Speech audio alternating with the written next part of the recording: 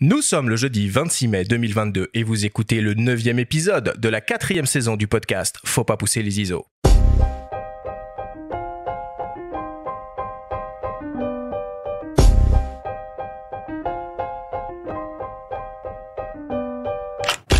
Bonjour à tous, je suis Arthur Azoulay et je vous souhaite la bienvenue sur Faut pas pousser les ISO, le podcast entièrement dédié à l'image pour tous les passionnés de photos et de vidéos. Cette semaine, on va parler événementiel, logistique, conception et communication. Nous recevons Amélie Sanson, la coordinatrice générale du collectif FETAR, qui est accompagnée du photographe et journaliste spécialisé Patrick Lévesque, dans une grande émission pour découvrir ce qui vous attend si vous vous lancez dans l'organisation d'une exposition photo. Cet épisode vous est présenté par Canon et sa gamme Image Prograph Pro, les imprimantes photo qui offrent des rendus parfaits à chaque impression, jusqu'au format A2+, pour une sans limite. C'est parti, neuvième épisode de cette quatrième saison du podcast. Faut pas pousser les ISO. Benjamin, mon ami, comment vas-tu ce matin? Bah Arthur, ça va très bien. Les semaines défilent, ma foi. On retrouve les festivals, ça fait du bien. hein. Ouais. Moi, j'étais euh, sur Vincennes là, ce week-end euh, avec nos amis du Vif.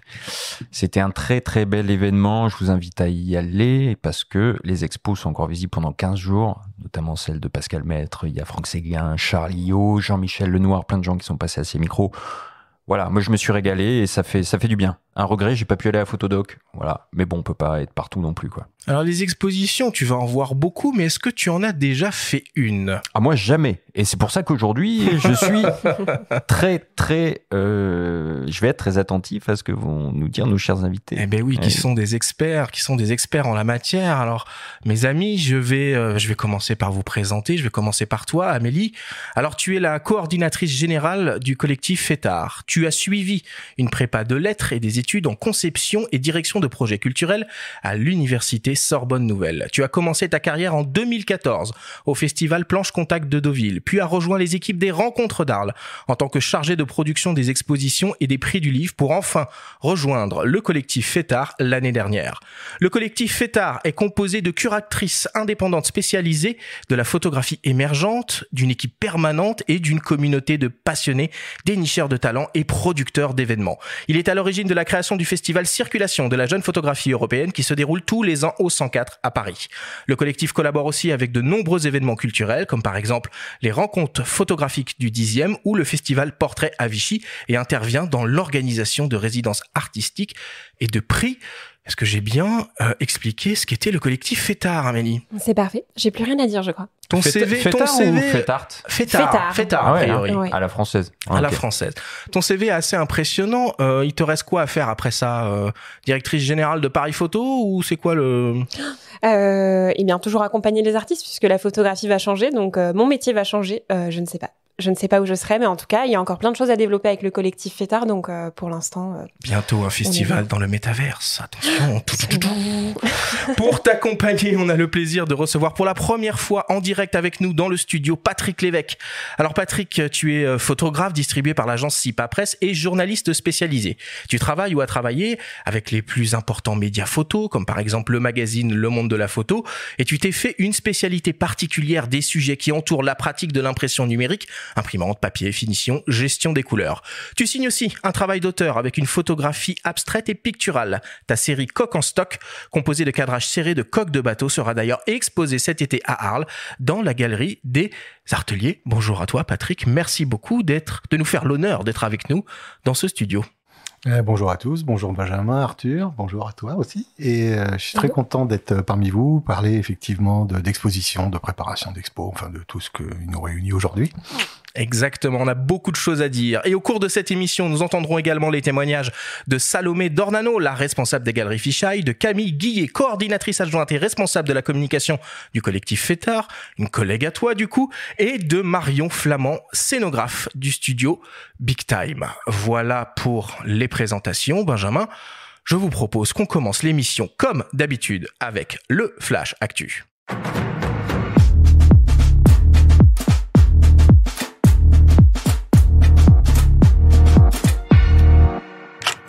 Cette semaine, dans le Flash Actu, Canon lance deux nouveaux boîtiers APS-C en monture RF. Tokina lance pour sa part une focale standard ultra lumineuse en monture Sony E et Fujifilm X. Et Visa dévoile la programmation de sa 34e édition.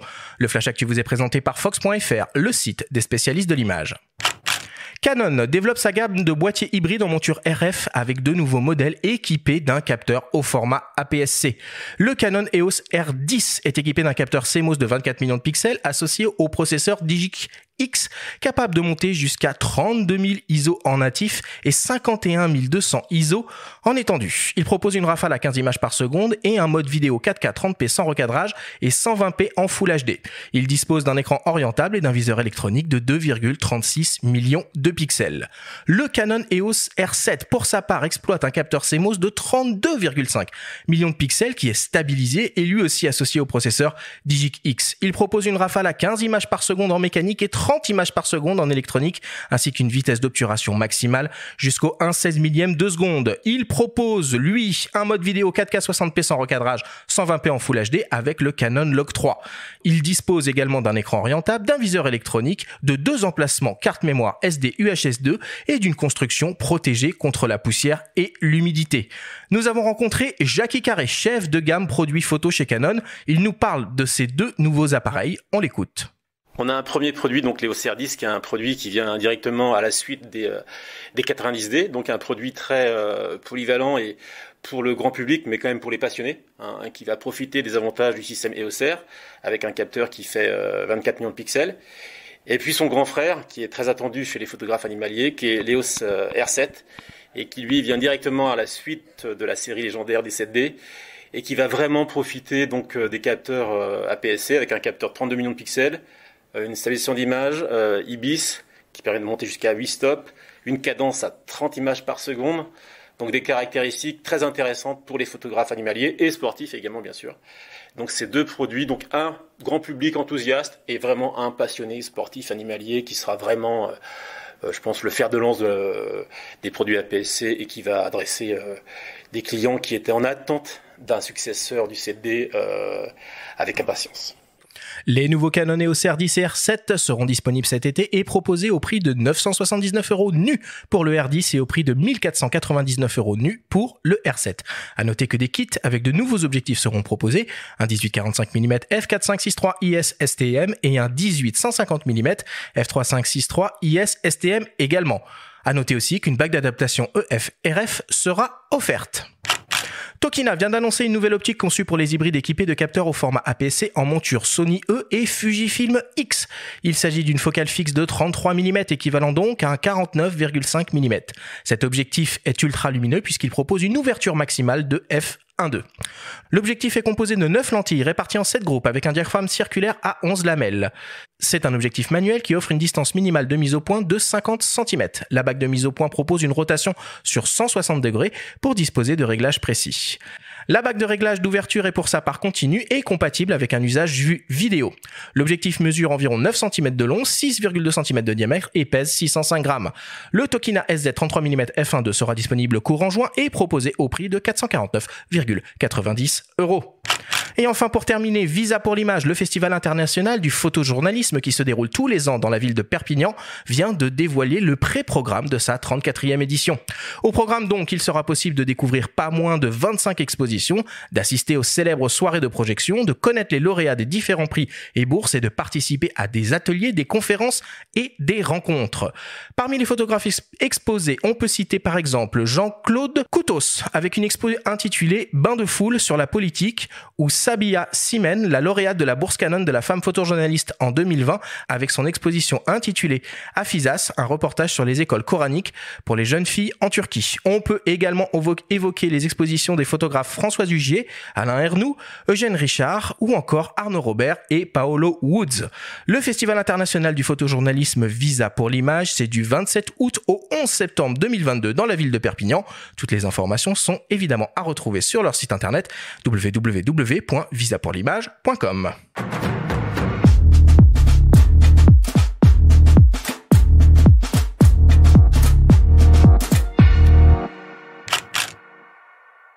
très belle actu cette semaine, des nouveaux boîtiers, ça faisait un moment, ça fait plaisir, ils ont l'air bien chauds chez Canon en ce moment. Enfin, ça sent un peu le sapin quand même euh, pour euh, pour les réflexes déjà, et puis peut-être même pour les hybrides en monture euh, euh, EOSM.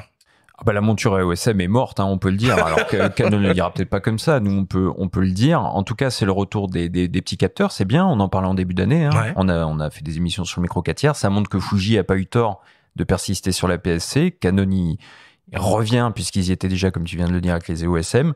Euh, tous les gens qui ont aimé les 7D en réflexe, qui était un superbe appareil qui permettait aux photographes animaliers sportifs, avec un, budget raisonnable, de- d'obtenir de, belles images, vont se réjouir de cette arrivée, d'autant que, comme tu l'as dit aussi, les bagues sont offertes et permettront aux utilisateurs d'utiliser leurs optiques EF ou EFS sur ces boîtiers-là. Donc ça, c'est c'est très très bien. Ouais, et puis on retrouve vraiment la même stratégie qu'ils avaient sur l'univers réflexe avec la monture EF et ces doubles gammes APS-C ou euh, 2436 euh, qui partagent euh, qui partagent le même univers optique. Et encore mieux cette fois, puisque la monture RF permettra cette fois de mettre euh, des optiques dédiées à la PC ou euh, 2436 euh, sur n'importe quel boîtier qui adopte la même monture, ce qui n'était pas le cas sur les réflexes, puisqu'on pouvait pas monter des optiques EFS Oui, c'est vrai, sur les boîtiers Tu as raison. 2436. Donc ça, c'est quand même euh, bien.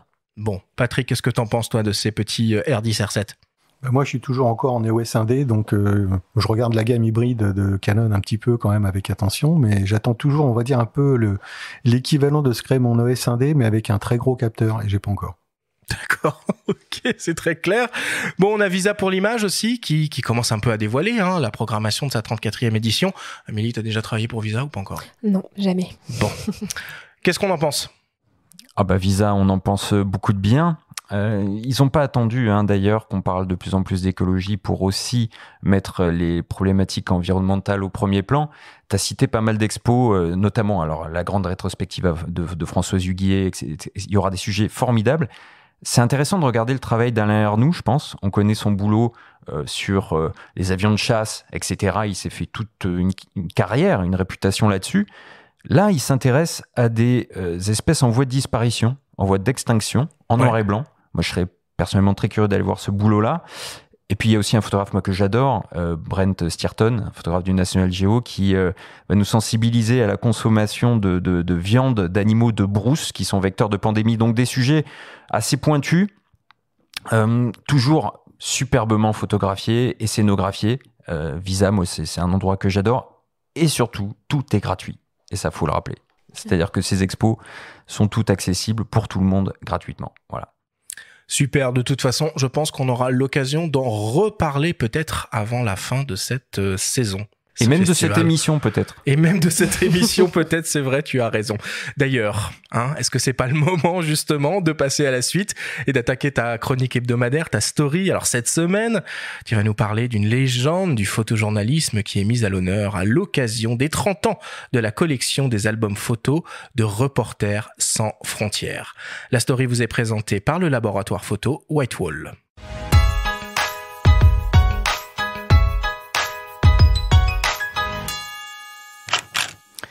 La scène se passe au Cambodge, en 1974. Grièvement blessé, un jeune homme aux cheveux bouclés, le regard dans le vide, est évacué par deux soldats. Il porte deux appareils photo au cou. Cette photo noir et blanc, prise par Al Rokoff, illustre la une du tout premier numéro de la collection Sans photo pour la liberté de la presse, édité par l'organisation Reporters sans frontières. Ce jeune reporter évacué s'appelle Patrick Chauvel.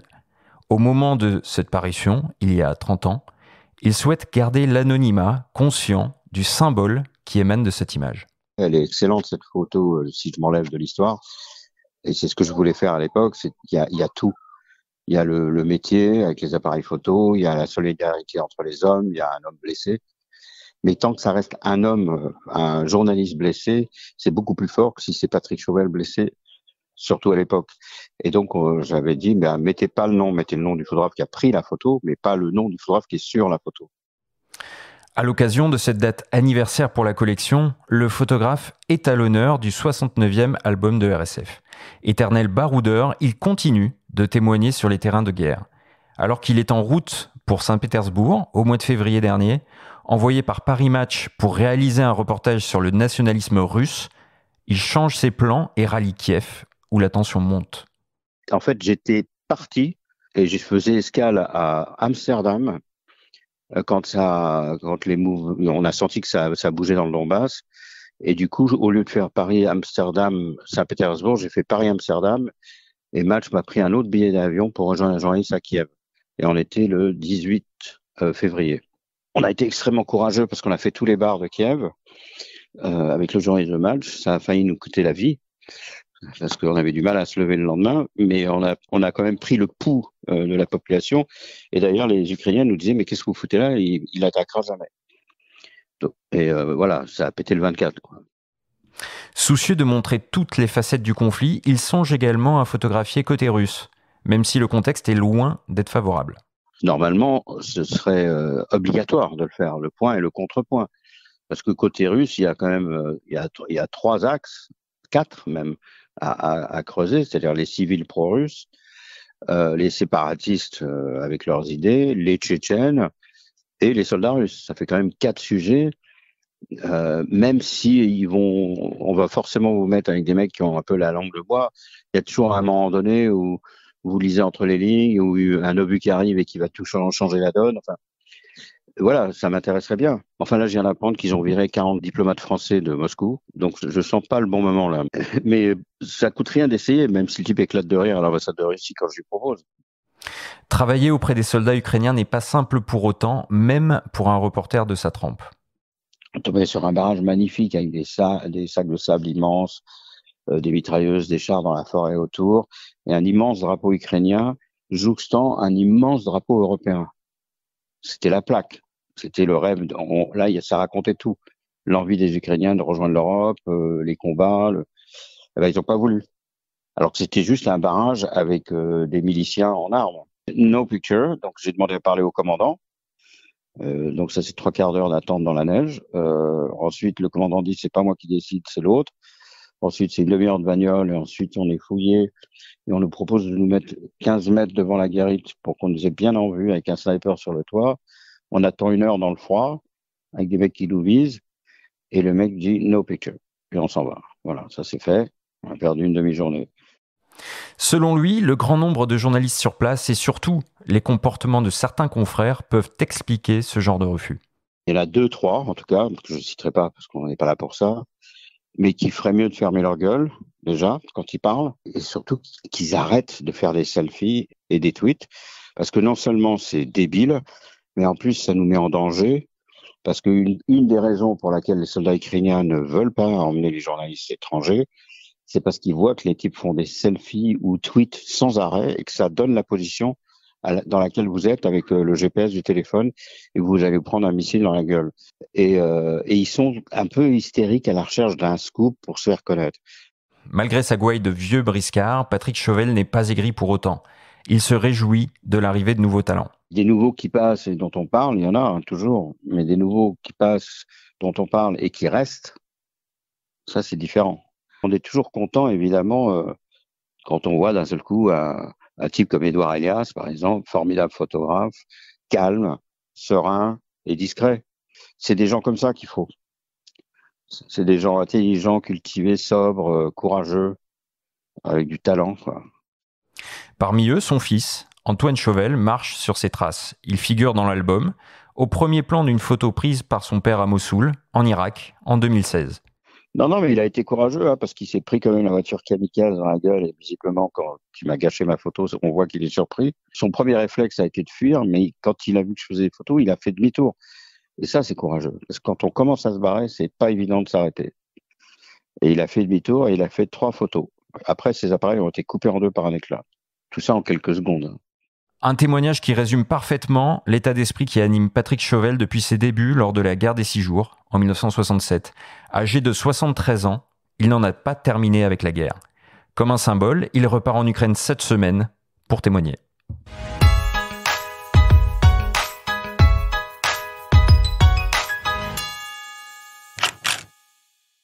Alors évidemment, hein, on rappelle euh, que toutes euh, les recettes hein, liées à la vente euh, de cet album et de ces albums sont reversées à l'association Reporters sans frontières. Dis-moi Benjamin, il faut absolument qu'on consacre une émission dédiée au coin du feu à Patrick Chauvel.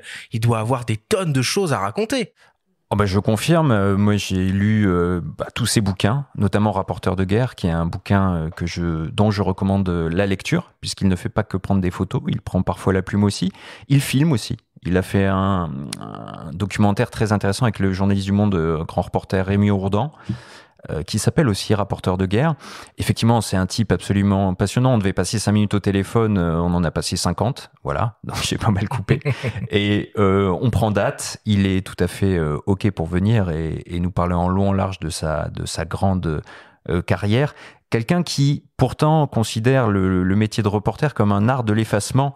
Donc, il ne vit pas forcément très bien cette exposition médiatique en ce moment. Euh, il m'en a parlé. C'est un aspect aussi intéressant de son travail, puisque euh, au moment où on, avait cette conversation, il était sur le point de repartir sur le front en Ukraine, là où il se sent vraiment à sa place.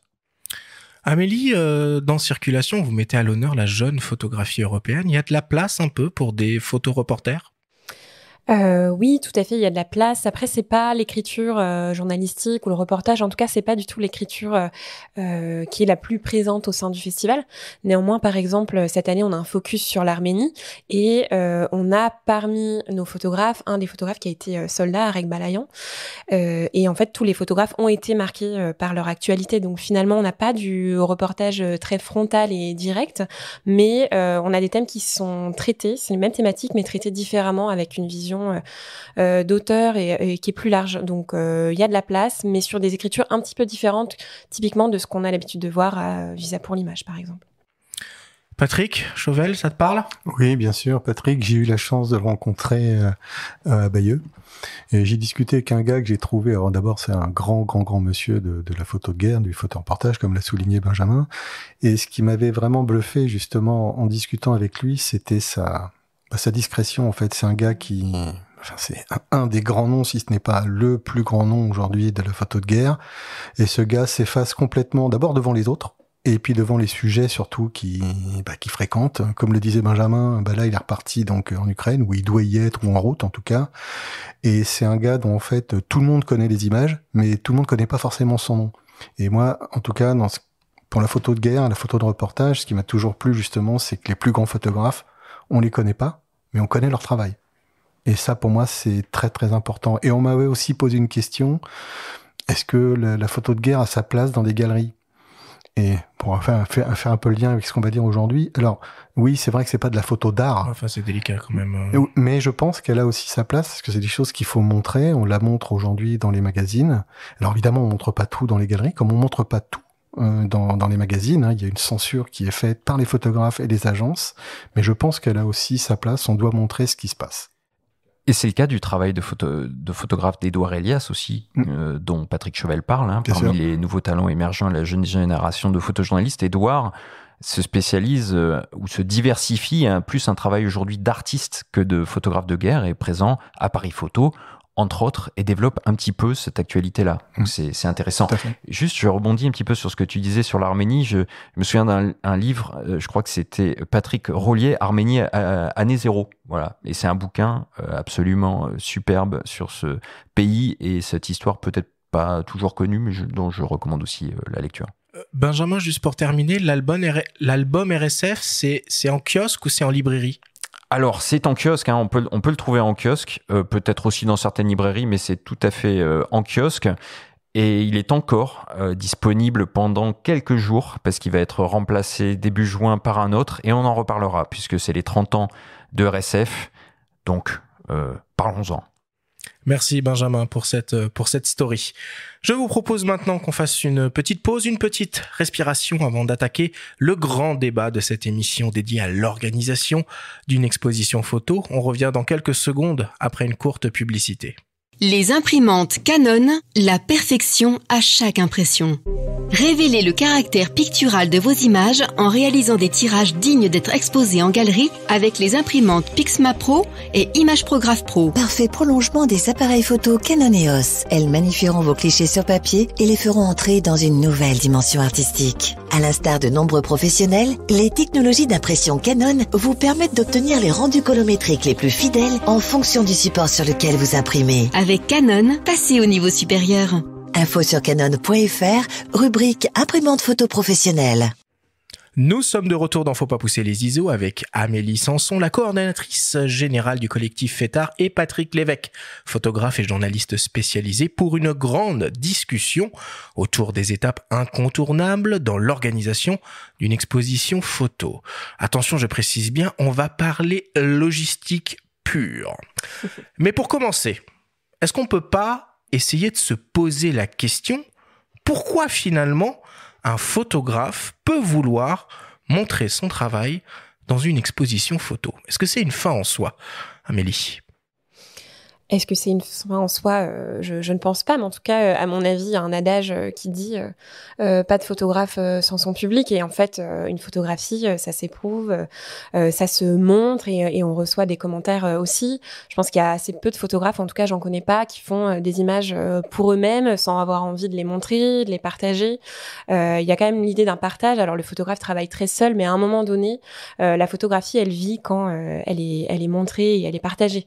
Donc il y a un autre adage, nous, qu'on utilisait pas mal dans le magazine, dans le monde de la photo. Patrick, euh, surtout, ça te concernait quand on consacrait des dossiers euh, à l'impression, c'est mm. que on disait une photo existe à partir du moment où elle est imprimée. Donc finalement, ça, ça rejoint un petit peu cette idée-là aussi que pour mm-hmm. montrer son travail, que ce soit un livre ou une expo, il faut qu'elle soit euh, montrée au public sous cette forme-là. Toi, ça te parle forcément. Bah, c'est clair. Enfin, en tout cas, c'est vrai que pour rebondir un peu sur ce que disait Amélie, d'abord, c'est vrai que la photo, pour un photographe, je dirais que c'est d'abord un peu égoïste, on fait de la photo pour soi parce que d'abord on aime ça, on prend son pied à faire nos photos, mais après euh, le but c'est de la montrer, c'est de la partager et pour pouvoir montrer, partager les photos, bah, la seule chose qu'on puisse avoir, c'est ou de les imprimer, de les exposer, que ça soit publié, alors que ça soit sous forme de livre ou en magazine, mais voilà, c'est comme ça qu'on montre, il faut que ça soit imprimé. Pour moi, une photo, elle ne peut être vivante que si elle est imprimée. Mais est-ce que c'est comme ça qu'on se fait connaître ou parce qu'aujourd'hui c'est plus les réseaux sociaux C'est une des façons. effectivement. Il y a beaucoup de photographes qui ne vivent qu'à travers les réseaux sociaux. Oui, alors euh, aujourd'hui les réseaux sociaux sont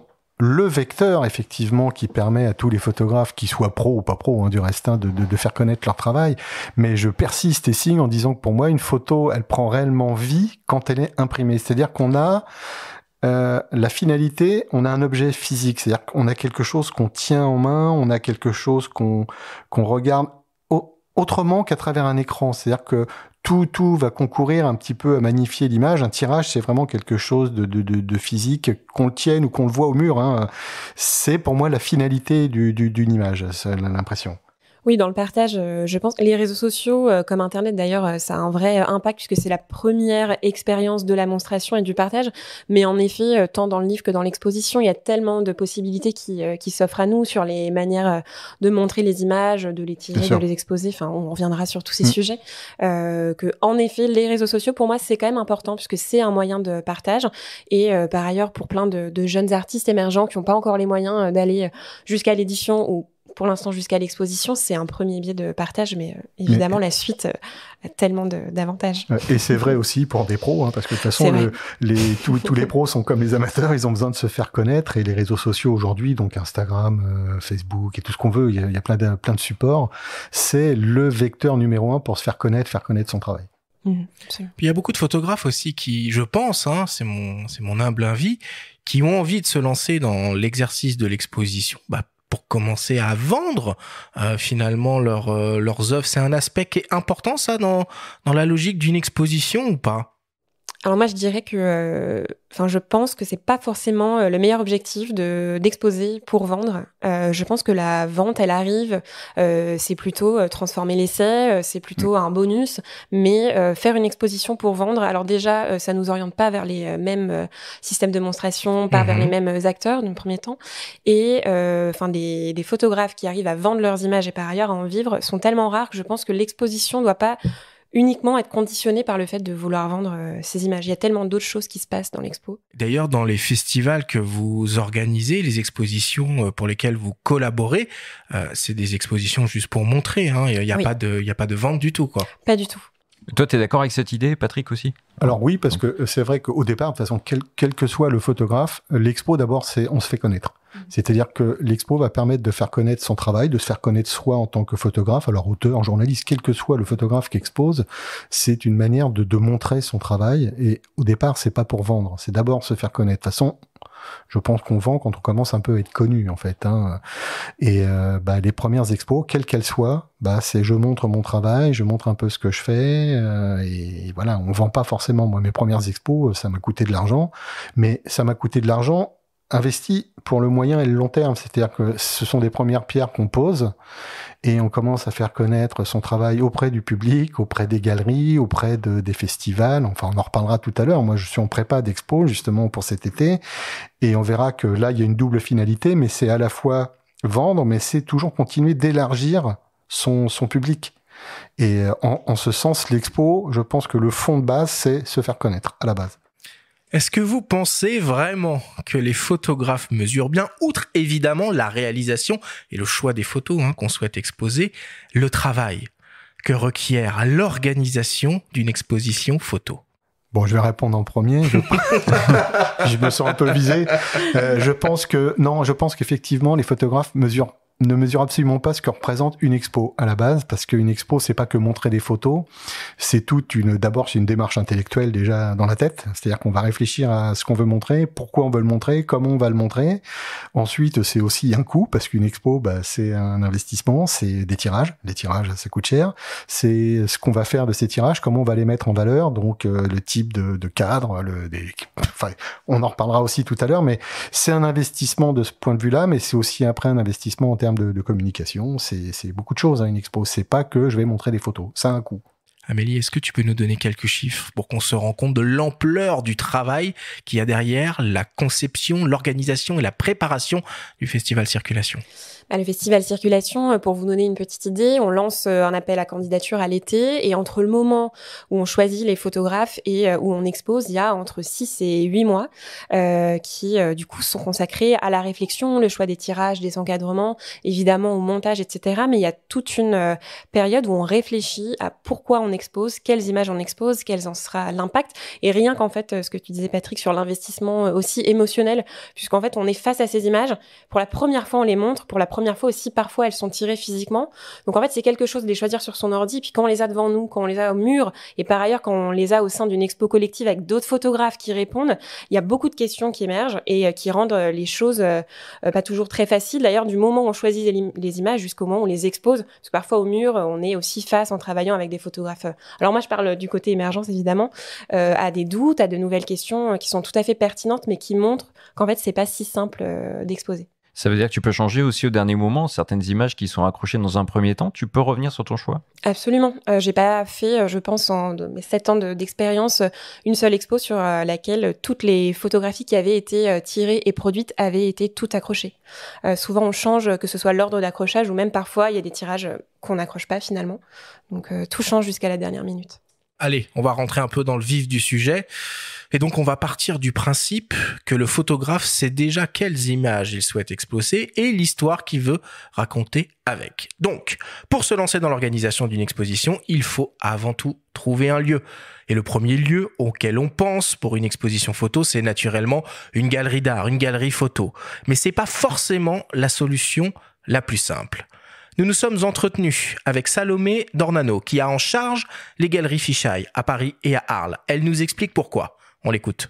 C'est vrai qu'on croise beaucoup de jeunes photographes qui se disent que c'est la seule solution en fait de, travailler avec une galerie et, c'est vrai que ça peut l'être parce que ça la galerie elle a un, support euh, autant euh, financier qu'un accompagnement un peu de A à Z et un, regard un peu sur euh, sur l'artistique en fait quand on crée une exposition bah, quand on est tout seul et qu'on démarre, bah, c'est vrai qu'on ne sait pas trop comment proposer son travail, on ne sait pas trop avec qui travailler. Et une galerie, c'est bah, pas qu'une seule personne. En fait, il y a une équipe derrière qui peut vraiment accompagner euh, le, le, photographe. Après, c'est vrai que c'est, je pense que c'est un peu difficile de rentrer dans une, une grosse galerie. Je pense qu'il faut tout d'abord se, se tourner vers des plus petites galeries. Il y en a plein à Paris, il y en a plein, euh, enfin partout en France en fait qui euh, sont très ouverts euh, à des collaborations avec des jeunes photographes. Et, euh, et ça, c'est hyper chouette. Faut super bien cibler sa galerie. On peut pas aller voir n'importe quelle galerie avec n'importe quel travail. Moi, c'est vrai que parfois, je me suis retrouvée avec des, des projets qui n'étaient pas du tout ce qu'on exposait aux galeries TJ et des portfolios. Et je me suis dit, mais en fait, la personne, elle a absolument pas regardé ce que nous, on faisait. Donc ça, déjà, c'est hyper important première chose qu'il faut faire, c'est déjà de rencontrer les galeristes, je pense. c'est une étape un peu primordiale. Mais il faut surtout avoir un, à mon avis, il faut avoir un portfolio qui quand même ait du sens, quelque chose qui qui tienne debout. On se présente pas à une galerie avec voilà deux trois deux trois photos qui se battent en duel et un désir juste d'exposer pour exposer. En fait, quand je pense que quand les photographes en fait veulent vraiment faire un, un, bout de parcours avec une galerie, que ce soit là pour la première exposition ou, euh, ou même après. Je pense qu'il y a un peu une, une question de, de, faire un petit bout de chemin ensemble. Et, euh, et du coup, c'est important en fait de, de, se présenter et d'apporter euh, un, un, projet vraiment construit. Bon, bah on le comprend bien, hein, côté galerie, il y a avant tout un, un, travail de prospection et de conviction à faire qui s'improvise absolument pas. C'est la même logique, j'imagine, pour un festival, Amélie? Euh, oui, évidemment, la prospection, euh, ça compte, euh, ça compte pour beaucoup. Et euh, de, de, ce que dit Salomé, je pense que c'est aussi important, à la fois sur cette question d'équipe qui anime la galerie, mais aussi sur le fait de bien cibler les endroits vers lesquels on va se tourner pour proposer une exposition. C'est aussi une histoire humaine. Enfin, il faut pas oublier ça. derrière les festivals, il y a des directions artistiques. Des directions artistiques, c'est des choix, c'est des envies, des attirances particulières. Et en fait, tout le monde perd son temps si euh, on cible pas vraiment euh, l'endroit où on veut aller. Donc euh, je pense que le, le, choix, alors la prospection évidemment, hein, de toute façon c'est notre métier, on est tous et toutes en train de d'essayer de voir voilà ce qui fonctionne, ce qui est nouveau, ce qui est esthétiquement et un peu audacieux ou en tout cas nous nous pose hors de nos limites. En tout cas sur sur circulation c'est ce à quoi, ce vers quoi on tend, mais c'est très enfin c'est très intéressant. Sur les rencontres photographiques du 10e, euh, c'est ouvert aux amateurs ou pas? Comment ça se passe? Euh, Oui, alors en fait, euh, sur les rencontres photographiques du 10e, donc on a euh, le comité artistique de Fétard qui fait la curation et c'est un appel à candidature. Donc en fait, tous nos appels à candidature sont ouverts et après, c'est le comité artistique qui va faire la sélection. la question d'amateur, elle est un peu, elle est un peu ambivalente dans le sens où, qu'est-ce que ça veut dire aujourd'hui d'être amateur? C'est la même question que pour l'émergence, c'est-à-dire. Alors ça, c'est un sujet d'émission, les gars. Voilà, Qu'est-ce que la photographie amateur? On parlait en début d'émission du, du Festival de Vincennes, c'est un festival uniquement dédié à la photographie amateur. Quand on voit le casting qu'ils ont, euh, c'est casting des amateurs. Les gens, les gens mis en avant, c'est-à-dire qu'ils mhm. sont, euh, comment dire, leur travail est évalué par des pros, mhm. mais le grand concours est uniquement ah oui, le concours, aux amateurs. Pas les expositions. Ah oui, mais ils ont, dans le cadre du concours, ils ont le droit à une exposition. Donc c'est un parti pris aussi. Donc euh, oui, hmm. si, si, il y, y, a une distinction à faire entre les deux. Par contre, entre émergents et amateurs, Là, c'est un petit peu plus nuancé. Je pense qu'il y a une distinction qu'elle est un petit peu euh, plus nuancée, euh, en effet, mais euh, dans l'émergence, on peut avoir 75 ans et être émergent. Exactement. En fait, plutôt, ah ben, il n'y a pas de limite d'âge, par contre, ça, on est bien d'accord. bon, ok, alors donc les galeries pas simples, les festivals pas simples, c'est quoi les autres options qui s'ouvrent à nous si on veut trouver un lieu pour faire une exposition, selon vous, Patrick? Bah, il y a plein de lieux. Bon, c'est vrai que les galeries, c'est au départ, tout le monde a envie d'aller dans une galerie parce que c'est prestigieux, parce que c'est euh, c'est là qu'on se doit être. Mais pour rebondir sur ce que disait Amélie, c'est vrai qu'il faut bah, faut trouver la bonne galerie qui correspond un petit peu à son travail. Mais il y a plein, plein, plein d'autres lieux je pense à un truc très bête, mais il y a des restaurants, mais il y a des entreprises qui, qui proposent d'accrocher. Euh, moi, j'ai exposé dans une banque il y a très longtemps, ça paraît bête, mais c'était ma banque qui m'a proposé d'exposer. Il y a énormément d'endroits qui permettent de montrer son travail. Et toujours parce qu'on est dans la logique de montrer et pas de vendre. Hein. donc, euh, bah, tous ces endroits permettent de. On nous propose beaucoup de choses. Ça veut dire que quand tu es photographe aussi, une part de flair, euh, selon l'endroit où tu te trouves, tu as toujours sur toi une petite carte, euh, un petit projet à montrer, tu vas te dire, bah tiens, ce lieu, que ça pourrait ça pourrait coller, euh, je sais pas, une cave à vin. Tu as souligné une chose qui est, qui est fondamentale, c'est vrai que pour un, ou une un photographe, je dis Bien un sûr, photographe parce que je suis un garçon, mais jeune, vieux, voilà, jeune, il n'y a pas d'âge de toute façon hein, pour être photographe. Et, et, oui, on doit toujours avoir quelque chose sur soi à montrer, à laisser, à donner, parce que un photographe, il a toujours son œil à regarder euh, déjà pour faire des photos, et après, bah tiens, ici ça m'intéresse. Bah, je vais rencontrer les gens, on dit voilà, je fais ça, je peux vous montrer. Je peux montrer sur un smartphone, sur une tablette déjà, hein, c'est premier support. Je suis mhm. sur Instagram, je suis sur Facebook, je montre mon travail et je peux laisser une trace. Alors des traces, hein, il y a plein de manières. Moi, j'ai une carte de visite, mais j'ai des petites plaquettes, j'ai un petit bouquin, j'ai plein plein de choses que je peux laisser. Il y a plein plein plein de façons de pouvoir en fait montrer son travail. Patrick, euh, tu prépares une exposition hmm. à Arles cet été. Tu vois, on se dit exposition Arles, c'est genre le truc le plus compliqué qu'on peut euh, qu'on peut imaginer. Euh, raconte-nous comment tu as trouvé cette cette galerie. Bah, en fait, j'ai rien trouvé en vérité. Le, le hasard a fait que j'ai un ami qui est installé à Arles depuis très longtemps et qui a monté sa galerie euh, cette année, qui est ouverte depuis, on va dire, deux mois. Hein, et euh, cet ami que je connais très très bien m'a proposé, parce que ça fait longtemps qu'on en parlait, ben, il m'a dit, est-ce que tu veux exposer cet été? Alors j'ai dit bah oui, bien le réseau, hein. le réseau, le réseau, Oui, oui, non, non, mais encore alors- le réseau. Oui, oui, non, mais je- euh, c'est le prolongement de ce qu'on disait tout à l'heure. On doit toujours avoir des cartes de visite, etc. Mais le trésor d'un photographe, c'est le trésor d'un journaliste, c'est le trésor, c'est le carnet d'adresses, c'est les contacts qu'on élargit en permanence, en permanence. Et là, bah, ça a été le, bon, c'est des rencontres évidemment euh, qui, qui datent de, depuis longtemps. Hein. Gérard, je le connais depuis très, très, très, très longtemps, mais sa galerie, c'est tout frais. Mais bah, le, le fait de, de bien se connaître, il connaît mon travail, je connais le sien. On va exposer à trois photographes, donc là, plus, c'est un truc hein, collectif. Ouais, Ok. ouais, c'est un truc collectif et bon, on en reparlera peut-être un peu. Ça conditionne beaucoup de choses pour Mhm. préparer une expo. Et puis Arles, enfin pour le coup, c'est vraiment euh, le l'exemple euh, même de d'un off qui est extrêmement euh, vivant et en fait on expose euh, qui, est, qui est- qui est même parfois plus partout. intéressant Mmh. que le, Plus de Ah, monde. que le vide. mais partout dans des garages, Ouais, dans la rue sûr, même, enfin vraiment euh, et tout est intéressant. C'est et- la force de Arles, c'est il y a Arles en fait les rencontres officielles, mais il y a tout le off et, Et, c'est fondamental. alors donc il y a le off des galeries, puis il y a le off, euh, il y a le off un peu sauvage. C'est une bonne Mhm. idée ça de faire des expos sauvages ou euh, garde à vue assurée? Arles le Si tu t'appelles hein, pas euh, JR, euh, c'est compliqué. ouais. Ouais. Ouais, Arles, Arles permet beaucoup de permet choses. Ouais. Mm. Quels sont les critères qu'on doit un peu euh, prendre en compte quand on choisit euh, un lieu pour une pour une exposition? Là, on rentre dans des critères très euh, pratico-pratiques. Euh, la taille, l'endroit, euh, la fréquentation. Qu'est-ce qu'on qu'est-ce qu'on regarde? Plus c'est grand, mieux c'est? Pas forcément. Parce que c'est pareil, ce qu'on met au mur, c'est pas forcément que, faudra pas forcément que ça soit grand. hein, Ça, va dépendre. En fait, ça peut être le résultat d'un hasard. Des fois, on va tomber sur une galerie ou un endroit, un resto, une salle. Il y a des salles éphémères. Moi, j'ai fait des expos qui ont duré qu'une une soirée. Euh, c'est le lieu qui plaît. Et je pense qu'on se conforme un peu au lieu. Euh, On va conditionner un petit peu bah, les tirages, la taille des tirages, le nombre des tirages, comment on va un peu scénographier, mettre en scène, comment on va éclairer, parce que l'éclairage c'est très très très important. Euh, je pense qu'il n'y a pas réellement de règles. Je pense qu'on se conforme au lieu qu'on a trouvé. À mon avis, hein, Mhm. c'est un point de vue. Je pense qu'il peut se défendre. Il peut peut-être être vu d'une autre manière par d'autres photographes qui vont cibler des choses. Peut-être que ça correspond plus à leur travail, mais je pense que de manière générale, on se met un peu en face par rapport au lieu dans lequel on va se trouver. Et c'est quoi la, la durée idéale d'une d'une exposition, Amélie Un- T'as un avis là-dessus? Euh, je pense qu'en fait la question du lieu, elle est très liée à la question du moment. C'est-à-dire que euh, entre faire une exposition qui a lieu dans le cadre par exemple du off d'Arles, pour revenir sur cet exemple, puisque pendant une semaine il se passe énormément de choses, finalement l'expo d'une semaine elle peut marcher. Si c'est un lieu qui est vraiment euh, indépendant et qui a sa propre programmation, là il y a toute euh, une stratégie en termes de temps à comprendre entre le moment où on parle de l'expo, le bouche à oreille, etc. Et là il y a vraiment un délai qui est un peu incompressible euh, en termes de semaines à partir de duquel euh, vraiment l'expo commence à être euh, euh, voilà on commence à avoir de la communication on commence à en entendre parler donc je sais pas s'il y a un délai euh, particulièrement à respecter mais je pense qu'au moins trois quatre semaines c'est quand même un bon euh, C'est déjà de la bonne expo, là, 3-4 bonne semaines. euh, Là. une bonne expo mais vraiment c'est là que ça commence à que ça commence à marcher donc Mhm. c'est un idéal évidemment mais euh, Et puis il y a des ovnis. Des fois, on parlait la semaine dernière de portraits avec Frédéric Stussin.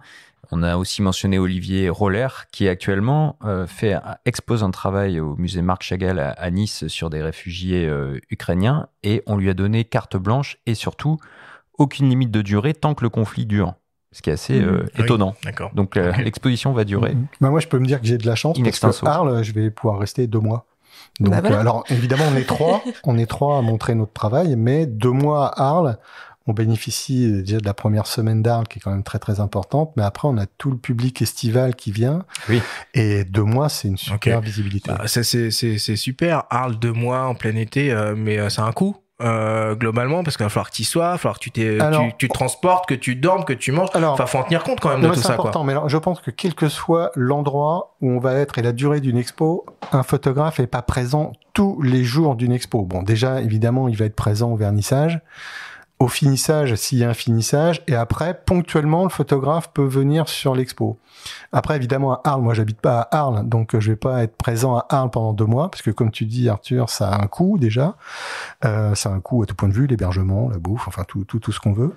Et après, je pense qu'on va choisir éventuellement peut-être des, des périodes. Alors la première semaine, j'y serai parce qu'elle est fondamentale. Moi, en tant qu'auteur, je me dois d'être là-bas parce que c'est l'occasion de rencontrer les gens on va dire, euh, de, de, de, de la photo. Mais après, bah, je pense que c'est aussi intéressant de rencontrer les gens qui viennent en galerie. Donc on se dit, bah, je sais pas, on va venir deux, trois fois euh, sur, sur, sur l'expo pour pouvoir rencontrer les gens. Et ça, je pense que c'est vrai, quel que soit l'endroit. On peut exposer dans un resto, on peut exposer dans une galerie, dans, dans une entreprise. La rencontre avec un ou les auteurs hein, d'une expo, euh, c'est un, un échange aussi. Et c'est important pour un auteur de rencontrer les gens. Les, les gens qui vont éventuellement acheter peut-être aussi. Hein. Est-ce que finalement 70% de, la communication de la rencontre euh, se fait pas au moment du vernissage? Je pense que c'est la valeur ajoutée qui se fait au vernissage. La communication, c'est euh, autre chose parce que il faut aussi donner euh, envie aux gens de venir dans un premier temps. Euh, quand ils y sont, on passe à une autre étape euh, vraiment de valorisation. Mais euh, et encore une fois, quand on est dans un programme très dense, il faut savoir se démarquer, s'identifier, aussi créer l'intérêt pour que en fait on vienne à cette galerie puisque en fait en chemin on peut en croiser dix autres, surtout à Arles. Donc il y a y a quelque chose qui se fait quand même avant. donc je pense que c'est ces deux choses différentes, ces deux moments de communiquer avant et d'être présent et de valoriser le travail euh, pendant, euh, c'est autre chose. Maintenant qu'on y voit un petit peu plus clair sur cette histoire de lieu, on va essayer maintenant de, bah, projeter son, exposition à l'intérieur de ce lieu. Il faut donc se pencher sur le problème de la scénographie. Nous avons rencontré Marion Flamand, scénographe pour le studio Big Time. Nous lui avons demandé de nous expliquer ce qu'est finalement la scénographie d'une exposition photo. On l'écoute. Oui, alors la scénographie d'une exposition photo, c'est travailler euh, à partir euh, des plans de l'espace et des volumes des salles euh, d'exposition pour créer un lien entre les artistes et surtout entre des œuvres entre elles. En fait, on, on travaille vraiment les volumes de l'espace, la couleur et le parcours du public à l'intérieur. La scénographie, c'est un travail au service des œuvres. Donc l'idée, c'est de créer une identité forte, mais tout en restant, euh, je dirais presque pas en retrait des œuvres, mais en support des œuvres pour euh, les mettre en valeur. Donc c'est aussi pour ça qu'on travaille en lien étroit avec euh, la lumière, par exemple, et l'identité graphique, donc tout ce qui va être les cartels, les titres, etc., pour que tout ça ait une limpidité et une cohérence pour que le public puisse observer les œuvres en premier lieu. Amélie, j'ai l'impression qu'on touche un point extrêmement euh, important dans la conception d'une d'une exposition. Euh, c'est quoi un peu l'ordre des choses? C'est euh, la scéno qui s'adapte au lieu, qui s'adapte aux images, ou c'est les images qui s'adaptent au lieu et la scéno s'adapte à tout ça? Dans quel ordre on prend tout ça là? Euh, je pense qu'on prend d'abord le lieu, on prend les images euh, à côté et euh, ensuite on construit la scénographie. Euh, préconstruire une scénographie pour un lieu qu'on n'a pas en tête, c'est, je sais pas, se faire rentrer des carrés dans des ronds. Enfin, vraiment, c'est pas du tout la manière de fonctionner. D'autant qu'une même série dans un endroit différent aura pas du tout le même impact ni la même perception. Et ce que dit Marion, qui est très intéressant du fait que la scénographie n'est pas en retrait, mais vraiment en support, c'est que quand même ça a un poids qui doit pas être forcément perceptible tout de suite par le, le visiteur, mais euh, vraiment la scénographie vient après. Euh, tu disais Patrick tout à l'heure, le, choix de la taille, des tirages aussi, ça en fait partie. Et euh, la scénographie, c'est à la fois où on met les murs, de quelle couleur ils sont, etc. Mais ça va jusque dans les images. Est-ce qu'on choisit des cadres ou pas? Est-ce qu'on est en mosaïque, en ligne? Quel format Et l'éclairage, évidemment. Ça, c'est la touche. ouais, ça t'en parlait tout à l'heure, Patrick. Ça paraît fondamental. C'est la question de la mm. lumière. Est-ce que c'est quelque chose qu'on doit tout de suite voir dans le lieu aussi, ça? Pour rebondir sur ce que disait Amélie, c'est vrai que, enfin, pour moi, l'ordre, c'est effectivement, je dirais, le lieu dans lequel on va se trouver, que ce soit une galerie ou pas, peu importe. Ça, déjà, ça va conditionner énormément. Enfin, je pense que ça va conditionner le reste. Pas forcément le choix des images. On a dit que les limite, on ne l'abordait pas parce qu'il est fait, mais de la manière dont on va justement utiliser ces images et comment on va scénographier l'ensemble après. Je pense que c'est d'abord le lieu. Après, oui, pour moi, l'éclairage, L'éclairage dit déjà, avant même de parler d'éclairage artificiel, comment la galerie ou le lieu est éclairé. Parce qu'on peut très bien travailler en brut, hein, sans, sans apport d'éclairage. Mais ça, c'est déjà donc le lieu qui conditionne un petit peu tout ça. Ensuite, selon la nature aussi des, des photos qui vont être mises au mur, moi j'ai un travail plutôt brut. Donc euh, je peux me dispenser de cadres par exemple, mais euh, cadres ou caisse américaine ou autres peuvent m'aller aussi très bien. Je pense qu'après on va adapter ça au lieu et la scénographie va aussi se faire un petit peu en fonction de tout ça.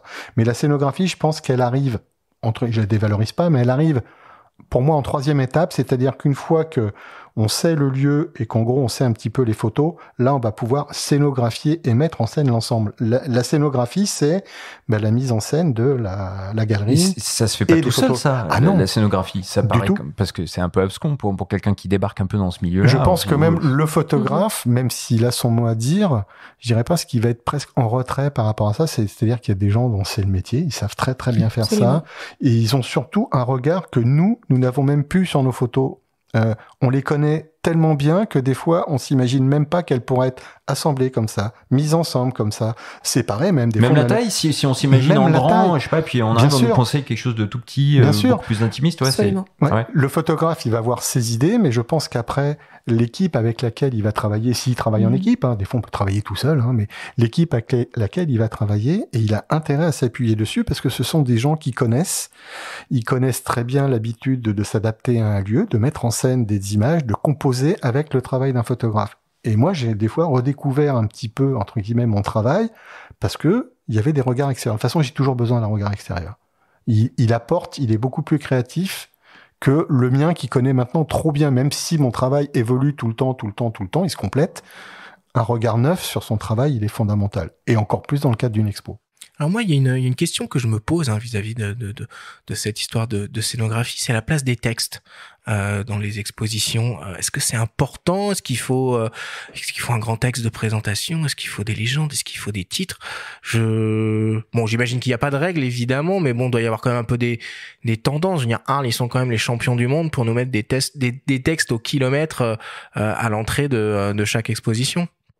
Moi, j'ai une position assez ferme euh, sur ça, c'est-à-dire que je pense que une image euh, qui est pas accompagnée de texte, euh, en fait, c'est tout ce qu'on disait au début. On est là pour montrer, et je, je valorise pas une image qui parle pour elle-même, parce qu'il y a toujours un contexte. Il y a une envie, il y a un travail photographique, il y a aussi voilà une histoire, une carrière dans laquelle s'intègre cette image, un contexte. Et en fait, mettre simplement des images au mur, c'est réduire l'image à son esthétique.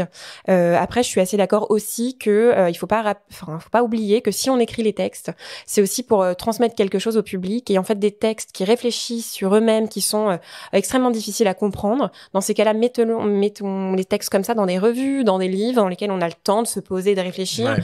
Euh, si on a un mode d'emploi pour voir l'expo avant de voir l'expo, enfin c'est voilà, bah, d'où la pertinence des catalogues d'exposition à ce moment-là, parce que ça on n'en parle pas, mais c'est important aussi peut-être. Ça se réfléchit à quel moment c'est le catalogue, c'est bien en amont, ça vient pas au dernier moment quand même ça vient. Alors pour moi, c'est euh, il y a quand même là, euh, on aborde une question qui est financière euh, aussi, puisque je pense qu'on fait une expo. Si on a la possibilité de faire un catalogue et qu'on le sait dès le début, dans ces cas-là, on pense les choses un petit peu différemment. Mais mais en effet, pour moi, il y a des textes qui sont des textes de curation extrêmement précis, par ailleurs très intelligents et vraiment hyper intéressants. Mais parfois, quand on est dans une expo, pas une expo collective aussi, hein, notamment quand on a lu 50 textes, on peut pas tomber sur un texte hyper hyper mmh. compliqué. Donc les textes jouent beaucoup. Et vis-à-vis du parcours du public, du, du, du spectateur, euh, est-ce qu'il faut qu'il soit dirigé par la scénographie ou au contraire, est-ce qu'il faut le laisser euh, complètement libre? Alors moi, tu vois, je reprends l'exemple euh, des textes. Moi, j'aime beaucoup dans une exposition commencer par faire mon tour, mhm. généralement à l'envers de ce qui est prévu, beaucoup plus vite que ce que la majorité des gens ne font.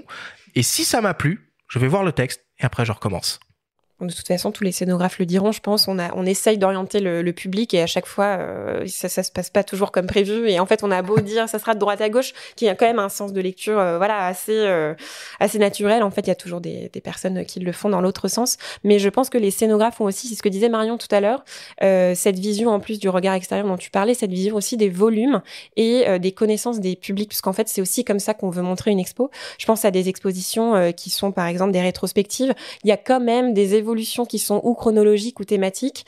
Et euh, normalement, si un commissariat est bien fait, une curation bien faite, elle est quand même pensée par thématique dans l'évolution d'un propos intellectuel et esthétique. Ce qui fait que c'est quand même mieux si on suit ça. Après, évidemment, je veux dire, on est là pour apprécier. On n'a pas envie d'être mis dans des, dans des cases, mais Bon, évidemment, en tout cas, la scénographie, c'est hyper important, puis ça peut représenter un budget euh, stratosphérique hein, dans la conception d'une exposition. Est-ce que tu aurais d'ailleurs euh, peut-être deux souvenirs de scénographie un peu qui t'ont marqué? Alors, on va dire quelque chose de spectaculaire, euh, intouchable pour la majorité des photographes, et à l'inverse, quelque chose de beaucoup plus modeste.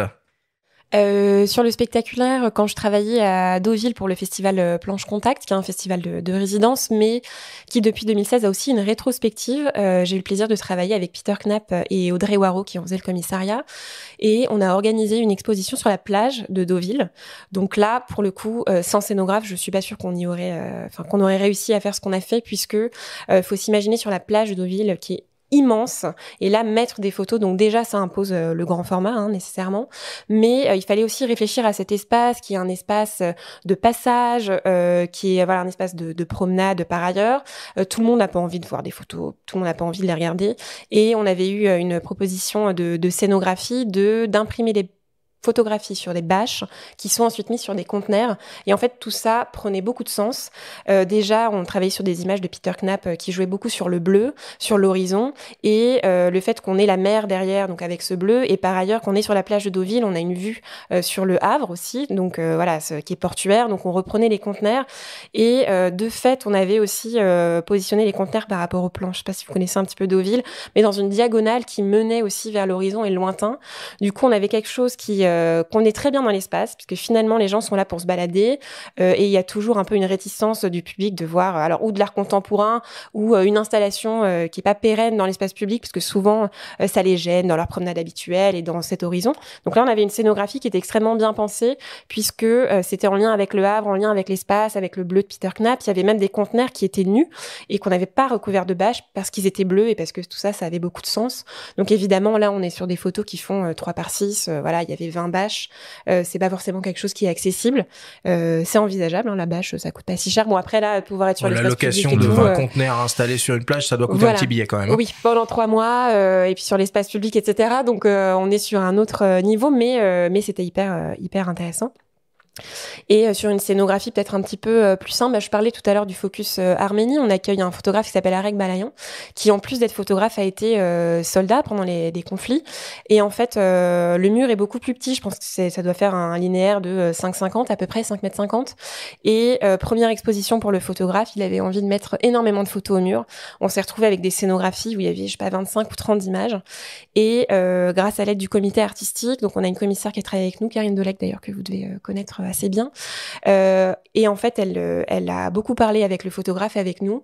Et ils se sont rendus compte qu'il y avait quelque chose de très, parfois un peu euh, spectaculaire dans les photographies de conflits qui peuvent être un petit peu euh, voilà, très choquante aussi dans les scènes qui sont montrées. Et en fait, on a pris la décision de mettre que cinq images euh, au mur. Vous avez raisonné. Et voilà, on a raisonné, mais parfois, en fait, c'est en faisant moins qu'on fait euh, mieux aussi. Ça mmh. nous a permis de mettre mmh. les tirages plus grands.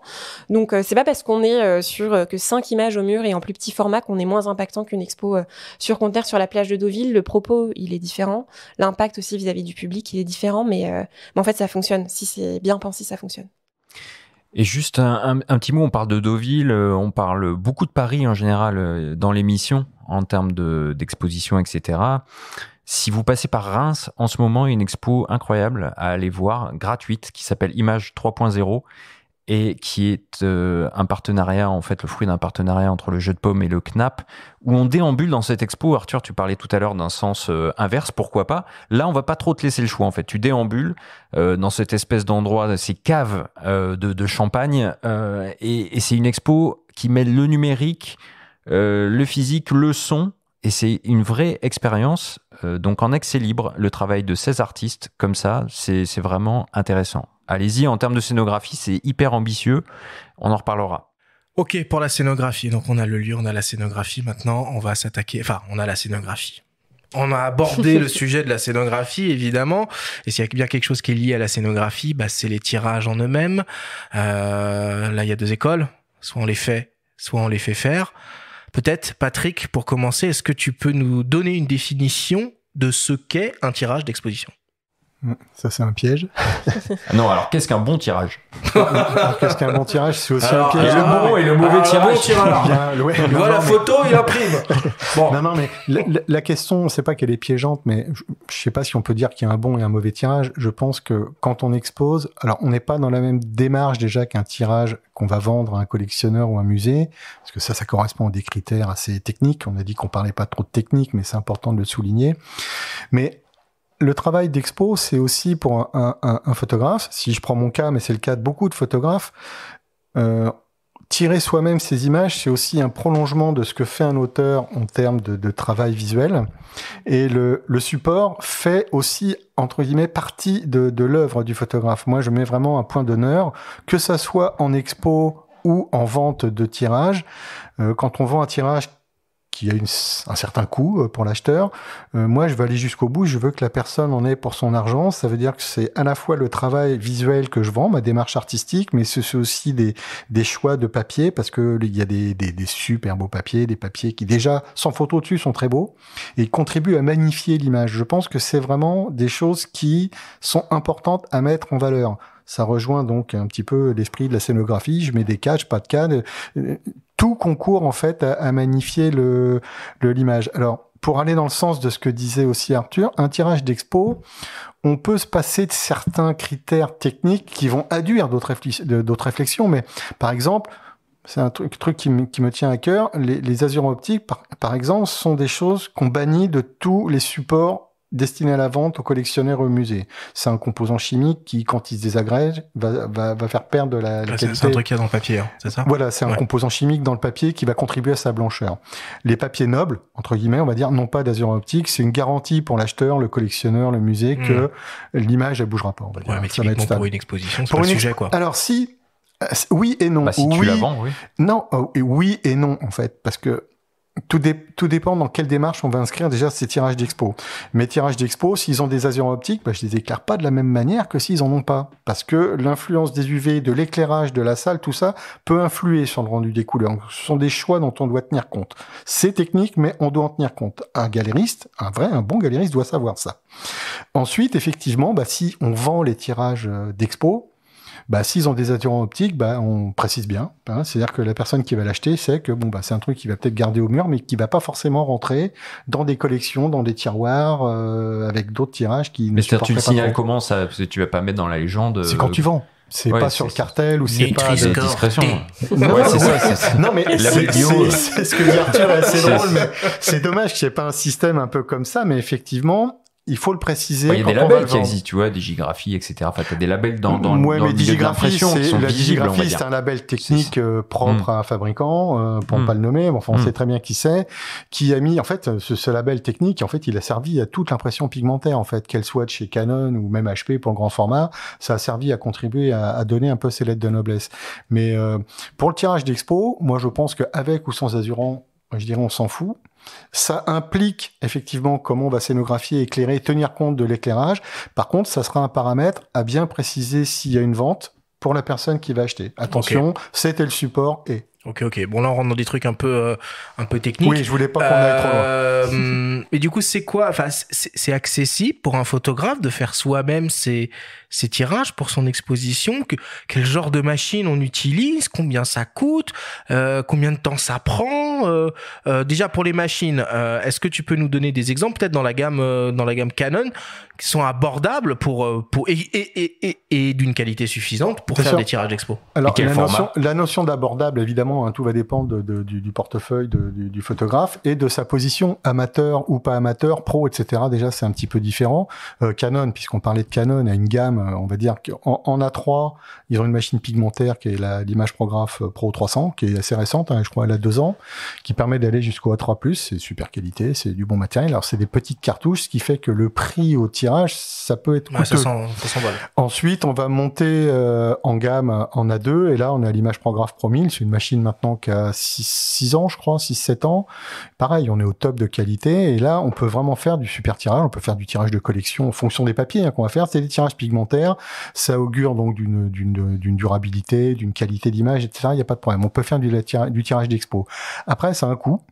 Hein, quand même pour Faut le faire régulièrement, non Euh, c'est- Pour que ce soit rentable. Tu, Bah, tu- tu vas pas le faire comme tu vas pas le si faire. le euh, terme, ouais. Pour un pro, ça sera automatiquement rentable dans la mesure où on vend un tirage. Quand on vend un tirage, même si on a une machine qui coûte très cher, et entre guillemets, l'encre coûte cher, quand on vend un tirage, je vais donner un ordre de prix idiot, mais je sais pas, 1500 balles, 2000 balles, on, on se fout un peu entre guillemets du prix de la machine parce que on, on, vend derrière. Pour un amateur, là, la, la Bah réflexion, ouais, c'est si, plus si tu tout fais fait ta la première même. expo, tu te dis tu vas tirer toi-même. Et euh, surtout si on vend pas. Bah Moi, ouais. je sais que mes premières expos, j'ai même pas amorti, je dirais, euh, mes expos financièrement parlant, j'ai rien vendu quoi quelque part.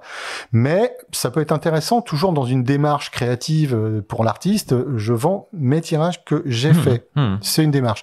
Après, ben, on peut s'appuyer sur des labos parce qu'il y a plein de labos, euh, euh, des, des, des labos en ligne. On a parlé de Whitewall tout à l'heure. On peut parler de Picto Online. On peut parler après, on va aller plus loin chez Dupont euh, et, et autres grands labos professionnels qui, qui, qui font très fort à ce niveau-là et qui peuvent effectivement permettre de monter une expo. Mais ça a un coût aussi. Mm. Amélie, avec la, la, la, la, la quantité stratosphérique de tirages que vous devez produire par an, euh, du coup, vous avez monté votre propre labo, vous avez investi dans des machines où vous sous-traitez tout. On sous-traite tout. Euh, déjà parce qu'on pense que c'est un vrai métier. Moi, je suis productrice, coordinatrice, mais euh, je suis pas tireuse. Euh, D'une part, donc en fait, on fait appel à des personnes qui nous soutiennent depuis le début. On travaille avec euh, Delphine Piovent du labo La Belle Image, qui a par ailleurs, euh, voilà, qui est d'une gentillesse absolue, qui nous connaît très bien et euh, qui est situé au deuxième étage de l'immeuble qu'on occupe. Euh, d'accord. c'est quand même très agréable. C'est plus simple. Ok, ok, ok. Bon, euh, on a les tirages. Hein? Alors, on les a fait soi-même ou on les a fait faire, mais l'histoire, elle s'arrête pas là. Il faut savoir comment on va les accrocher. Est-ce qu'on va euh, les protéger? On aborde donc la thématique de ce qu'on appelle les finitions. Et là, il y a énormément de choix et de possibilités. On reprend l'exemple du laboratoire en ligne, hein, euh, Whitewall, euh, qui a un, un, un panel de, de finitions possibles pour ces tirages d'art qui est, euh, qui est juste impressionnant. Alors, on parle de tirage sous plexi, de tirage sur aludibon, de caisse américaine, t'en as parlé tout à l'heure, euh, de cadre avec passe-partout. Bon, bref, tu, tu peux un peu nous, nous, nous, nous éclairer sur, nous vulgariser ces termes très techniques. C'est quoi un passe-partout pour, euh, on va dire, le, le grand public? Un passe-partout, en fait, c'est ce qui va permettre un petit peu de, bah, de, de, de, de mettre un petit peu en valeur l'image dans un cadre. C'est un, un- un- on, va, le faire très simple. C'est un carton où- Mm. dans lequel on a découpé une fenêtre sur lequel on va mettre, on va mettre l'image en dessous. En fait, ça va permettre de la détacher un petit peu d'un cadre. Ça permet aussi techniquement qu'elle ne soit pas en contact physique aussi avec la glace, éventuellement le, le, le- le verre du cadre s'il y a un verre, parce que ça c'est pareil, c'est un choix ou pas. Passe-partout, ça sert à ça en fait. hein. Alors il y a différents types de, de passe-partout, différentes épaisseurs. Moi j'aime bien les épaisseurs euh, assez épaisses avec une âme assez haute. Euh, L'âme c'est l'épaisseur. hein, Mhm. du passe-partout. Euh, ça, c'est pareil, ce sont des choix en fait qu'on va faire quand on conçoit l'expo. Ça fait presque partie intégrante de pas parler de la scénographie, mais comment on va mettre en valeur, c'est-à-dire euh, un cadre, un cadre avec passe-partout, on est plein pot dedans, vert, pas vert. Euh, est-ce que Contre-collage. est contre-collage? Est-ce qu'on est sur Aludibon Moi, j'ai un choix très précis dans l'expo que je vais faire par rapport à mes petits camarades. Euh, caisse américaine, pas caisse. Caisse américaine, explication Alors une caisse américaine, on va dire, c'est un cadre en bois Mhm. pour le faire très simple, dans lequel le tirage qu'on va avoir, en général, c'est un dibon ou une toile, souvent, ou ça peut être après un tirage qui est monté hein, sur un dibon, et l'impression donne le, le tirage qui est monté dedans donne l'impression de flotter. Ouais. Vraiment, c'est-à-dire qu'on a l'impression Ah oui, que c'est un petit peu détaché. Il y a des bords visibles. Je vois, je vois. Voilà. Enfin, en tout cas, ces, ces, ces finitions euh, contre collage euh, ou euh, mise sous plexi, on est d'accord qu'évidemment ça, ça, on ne peut pas le faire euh, tout seul à la maison parce que ça demande l'utilisation de machines extrêmement complexes, Le extrêmement. passe-partout, on peut faire. peut Le le faire passe-partout, soi-même, hein. ouais, le passe Oui. partout, ça peut être Je vais pas fait. parler du passe-partout. C'est du coup, marrant, mais euh, c'est- Non, non, non, alors, Ouais. non, mais Benjamin a raison de le dire. Moi, au départ, je m'étais dit, je vais faire mes passe-partout. Finalement, euh, en plus, on peut se les faire sur mesure. Alors, l'avantage, c'est de se les faire sur mesure. Par contre, euh, même si j'ai beau être assez adroit, technique, etc., rater un passe-partout, hum, c'est un coup. Et quand on en a raté un, deux, trois, euh, on fait faire ces passe-partout. On les prend tout fait, mais des fois, c'est vrai que quand on a des formats, on essaie de sortir un petit peu des formats standards. Euh, bah, on aime bien pouvoir faire ces passe-partout soi-même. On décentre un petit peu l'ouverture. ça peut être intéressant, mais on peut les faire faire. Enfin, le contre-collage sur Aludibon, on peut pas le faire à la maison. Hein. Vous allez pas me. Euh, si. C'est risqué. Si, si, mais euh, évidemment, après, tout va dépendre des Pendant les confinements, je suis sûr qu'il y a eu plein de tentatives. Non, hein. non, le non, DIY. Les euh, boulangeries ouais. euh, et les contre-colleurs. non, non, mais euh, en fait, c'est vrai que c'est quand on regarde sur du grand format, etc. Euh, laminer un tirage sur un sur un dibon, il faut du matériel qui coûte cher, etc. Mm. Mais il y a des petites presses à laminer qui ne coûtent pas si cher que ça. On trouve des des des dubons, euh, des, des des des plaques dibon à, à support adhésif sur lequel il faut après bah, appliquer le tirage. Il faut passer ça dans dans une machine à- à- en fait à- pour le contre-collage. Ça peut se faire, mais bon, ça a un coût. Mais après je pense que l'amateur n'ira jamais vers ça et même le voilà. pro Hein, si vous voulez pas euh, vous prendre ouais, la tête, franchement, vous allez par exemple sur le sur le site de Whitewall et il y a beaucoup de solutions exactement très simples euh, à mettre en Mm, œuvre. mm, Amélie, c'est quoi la tendance en ce moment en termes de format papier finition pour un tirage d'expo? Euh, alors, je vais un peu aller euh, au-delà de, de ce qu'on vient de dire, mais il y a aussi beaucoup, beaucoup de systèmes maintenant qui nous permettent euh, d'imprimer euh, sur à peu près tout sauf du papier. Euh, et ça, c'est aussi euh, une tendance. Pardon, Patrick. sur caillou. non non mais je, Voilà, je voulais en parler Non, mais mais c'est ultra intéressant, c'est Oui, ultra oui. intéressant. en fait, il y a plein d'autres supports qui réfléchissent euh, l'image et qui lui donnent un autre statut euh, complètement. On sort, bah, on sort des cadres. Pardon pour euh, le mauvais jeu de mots. C'est euh, l'émission de, Bon, de la ici, mauvaise on est, on est spécialiste. Euh, donc euh, voilà, enfin il y a, il y a vraiment plein d'autres choses. Après, euh, on utilise aussi beaucoup les euh, les doubles, donc c'est un peu du papier euh, affiche qui nous permettent de faire des très très grands formats euh, à un prix euh, défiant toute concurrence parce que c'est vraiment pas très cher. Et après de, de le prendre euh, et de, de l'expérimenter, de mettre des cadres dessus ou pas à côté. Donc euh, en fait, on a un peu de tendance à sortir euh, du tirage ou du cadre, même les 10 bons, hein, c'est aussi quelque chose, on n'est plus obligé d'encadrer en effet. Donc je sais pas s'il y a une tendance, parce que ça dépend beaucoup des, photographes, mais en tout cas, on peut aller au-delà. Peut-être dernière question sur cette thématique. Est-ce qu'on conçoit ces tirages d'exposition pour qu'ils vivent au-delà de l'exposition? Où on part du principe qu'ils sont faits uniquement pour ça et que s'ils sont euh, abîmés, détériorés, euh, ça fait partie de la vie? Je sais que nous, en tout cas, sur les festivals euh, sur lesquels j'ai pu travailler, c'est aussi pour ça qu'on ne vend pas les tirages d'exposition et que les tirages d'exposition sont faits pour vivre pour l'exposition parce qu'il y a un public, il y a des gens qui mettent les doigts, euh, ça peut euh, tomber, je sais pas si c'est en extérieur. Il y a vraiment une, euh, il y a vraiment une différence, je pense, entre le tirage d'expo et le tirage. euh, Et à qui appartiennent les tirages? Ils appartiennent à l'artiste ou à la galerie? Alors moi, euh, je n'ai jamais travaillé en galerie, mais en tout cas, ça appartient toujours aux artistes. hein. On Eh n'est ouais. pas du tout. Euh... Non, alors il y a des dépôts parfois dans des stocks euh, quand on fait des tournées, etc. De plus en plus, d'ailleurs, se pose la question euh, sur des thématiques, euh, voilà, euh, à penser à l'environnement, parce que l'exposition, euh, ça, ça consomme énormément de, de, de toute façon conserver les tirages pour les montrer à nouveau. Donc, mais on n'est jamais euh, dépositaire. L'œuvre appartient toujours, euh, toujours à l'artiste. Je voudrais, ouais, si je peux intervenir. Alors effectivement, le, le, le type de support, effectivement, comme tu l'as dit, il est très très large. Moi, j'expérimente en ce moment des tirages sur verre, ce qui est mais super intéressant. Euh, après, oui, il n'y a pas de limite. Tu as parlé du dos bleu, c'est une manière, pour moi, qui rentre aussi dans le cadre de la scéno, mais qui peut s'élargir. Ensuite, bon, à qui appartiennent les tirages? Je pense qu'ils appartiennent à l'auteur, mais un auteur, s'il est malin quand il expose, le but, c'est que l'expo elle puisse tourner aussi derrière. Alors, on va raisonner de manière un petit peu effectivement éco, hein, c'est-à-dire que bah, je l'ai pas fait que pour ça. Euh, moi, j'ai envie que mon expo tourne, etc., etc., ou une expo collective. Je tourne. suppose de pouvoir la stocker aussi. Alors, le- a- mais le problème, c'est toujours le, le stockage. Euh, On a un ami commun qui s'appelle Pascal Maître, Eh par oui, exemple, je ouais. connais très bien, euh, qui a des tirages qui sont mais énormes. Euh, lui, c'est un entrepôt dans lequel il est obligé de stocker ses. Alors évidemment, tout le monde n'a pas la taille des tirages de, de, de Pascal Maître et la quantité de tirages qu'a Pascal, mais même pour un petit photographe comme moi, le stockage, le stockage, c'est c'est super important. Les tirages d'expo, c'est super important. Alors on est dans une démarche où on peut les vendre. Si on a vendu une partie des tirages d'une expo qui va tourner, bon, on retire. Sauf si c'est des tirages numérotés, c'est encore autre chose. Mais il y a énormément de choses qui vont conditionner à ce qu'on va faire des tirages. Je pense qu'une expo, pour moi, elle doit tourner. Elle doit continuer. Bon, on a le lieu, on a la scéno, on a ses tirages. Tout est prêt pour sa première exposition. Encore faut-il maintenant avoir du Champagne. public, euh, public, public, public. Il faut donc mettre en place une stratégie diabolique de communication pour attirer euh, bah, du monde, du monde pour découvrir son travail et visiter son exposition.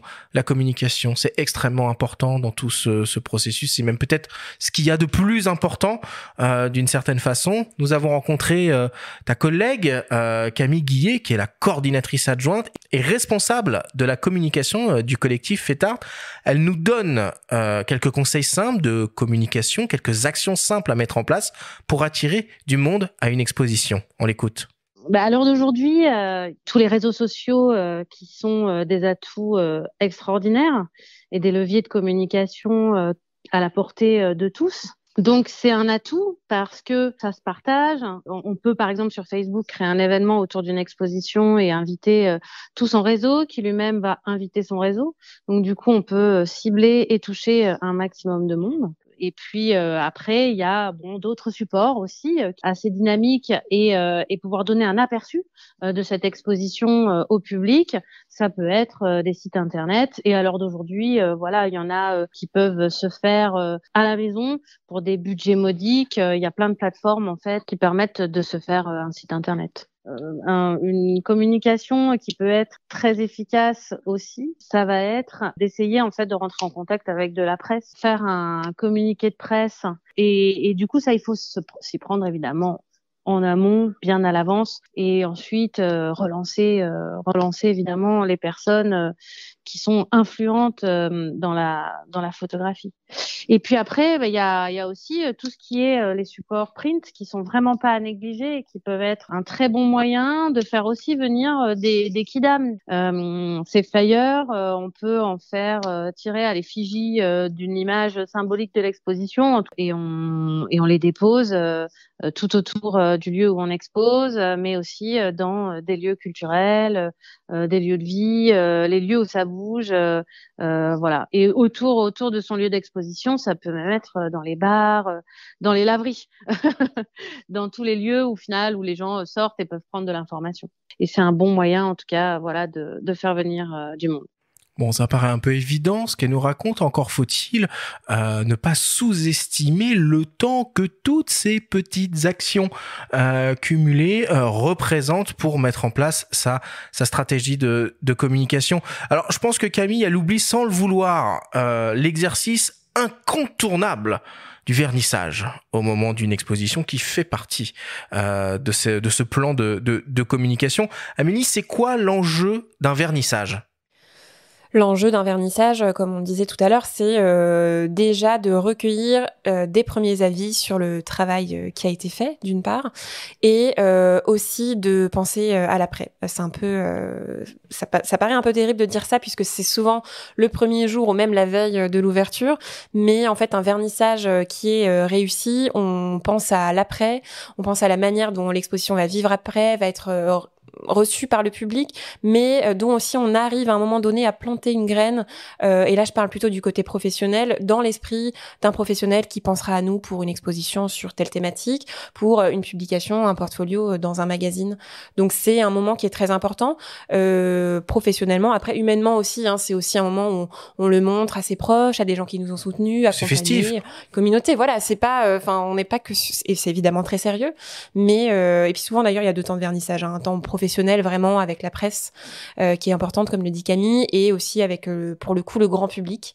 Et ces deux temps de, partage mais c'est un moment qui est important et je pense qu'il y a pas mal d'enjeux parce qu'il faut convertir euh, le tir. Il faut que tout se travaille Et on invite qui? On invite tous azimuts ou au contraire on fait une, une sélection très précise ultra VIP Je pense que ça dépend, ça dépend vraiment, mais je pense qu'il faut euh, alors nous, en tout cas, c'est ce qu'on fait sur le festival Circulation, mais on, est, on a quand même une plus grande ampleur, mais d'inviter la presse euh, pour un temps privilégié, vraiment, puisqu'on a envie de... Parce qu'en fait, c'est vrai que le vernissage, c'est un petit peu euh, problématique parfois, parce qu'il y a parfois énormément de monde, des gens qui sont aussi là pour se retrouver, euh, donc il y a un coup de pour champagne. picoler à l'œil, voilà. ouais. Hein, hein, on regarde pas trop les photos.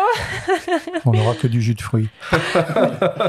Donc c'est différent, hein, le moment public. Je pense qu'il faut inviter la presse, il faut inviter des pros et euh, la, la question de prospect, euh, voilà, c'est très marketing, mais en fait ça compte.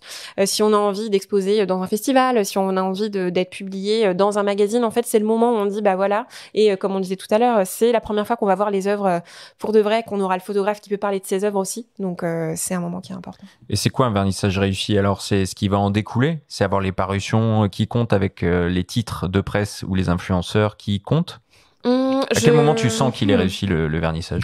Je pense qu'on sent qu'il est qu'il est réussi quand il y a un vrai intérêt et qu'on a réussi aussi à parler à des personnes euh, qu'on n'aurait pas réussi à attraper, en tout cas à mobiliser euh, hors de ce temps-là, puisque finalement euh, il y a aussi parfois des journalistes qui se déplacent pas, hein, enfin pas pour le vernissage en tout cas, mais euh, si on arrive à ouvrir des discussions avec des personnes qu'on n'aurait pas côtoyées autrement, je pense que là c'est réussi. Donc c'est un peu aussi, et puis parfois c'est sur le long terme, on n'a pas forcément des publications euh, dans les jours qui arrivent, mais euh, voilà. Et pour le coup, toi, Patrick, pour ton euh, exposition à Arles, euh, tu vas avoir énormément de, euh, de concurrence, hein, parce que le, le grand jeu euh, pendant la semaine professionnelle à Arles le soir, c'est de faire euh, la tournée des galeries et la tournée des vernissages. Donc, il va falloir que tu te démarques euh, avec ton, euh, ton vernissage et que peut-être que euh, vous envisagiez euh, la mise en place d'animation. Euh, vous avez prévu quelque chose ou pas? Bah, on, on est en- encore en, en stade final de réflexion, on va dire. Alors, c'est vrai qu'on s'inscrit dans un contexte particulier. C'est Arles, donc des expos, il va y en avoir un paquet, des vernissages aussi. le but, il n'est pas de, de, de, tailler la bourre par rapport à d'autres, il est effectivement d'essayer de bah, d'arriver un petit peu à se démarquer, de d'essayer d'émerger un petit peu, mais à la limite même d'être dans les parcours que les gens feront. Le vernissage, comme l'a dit Mélanie, pour nous, c'est bon. Dans les photographes qui exposent avec moi, euh, j'ai un camarade qui s'appelle Thierry Vaison, qui est plutôt connu, lui déjà. Je sais que Thierry, ça va faire venir déjà un petit peu de monde. Moi, j'espère capitaliser un petit peu sur ce que j'ai déjà montré, ce que fait Gérard aussi. Mais après, voilà, il y a tout notre réseau de contacts, mais qu'on essaye aussi d'élargir par de la presse, par des influenceurs, enfin tous les réseaux, hein, LinkedIn, Instagram, etc. Je pense qu'on fera, comme tu as dit, Mélanie, une page Facebook, certainement, pour, euh, pour attirer le maximum de monde. Le vernissage, c'est vraiment d'essayer d'avoir le maximum de monde sur ce jour-là, pour avoir le plus de retombées, quelles qu'elles soient derrière. C'est-à-dire, c'est des contacts à prendre au niveau de festivals, de galeries, d'acheteurs, hein, de tout, tout ce qui peut être bon pour nous, auteurs, après l'expo, même pendant l'expo, tout ce qui peut se nouer, le vernissage, c'est là où se fait. Il y a aussi une chose dont Arthur n'a pas parlé tout à l'heure, il y a un vernissage, il y a aussi une autre chose qui s'appelle un finissage, qui est après l'expo. Oui, une espèce de tendance autour de ça. Ouais. Ça se pratique de plus en plus, alors je sais pas si on le fera. Euh, c'est des choses aussi qui permettent... Ça consiste en quoi? C'est la fin de l'expo et on fait une petite tu, fête. fais une fête pour, pour voilà, euh, c'est voilà. pour dire on est content. Euh, Ouais, ça s'est il y a eu passé. beaucoup de monde, euh, on a Mm. fait des ventes, euh, on a eu plein de contacts, on va exposer là, on va faire ci, on va faire ça. Voilà, c'est un petit peu ça.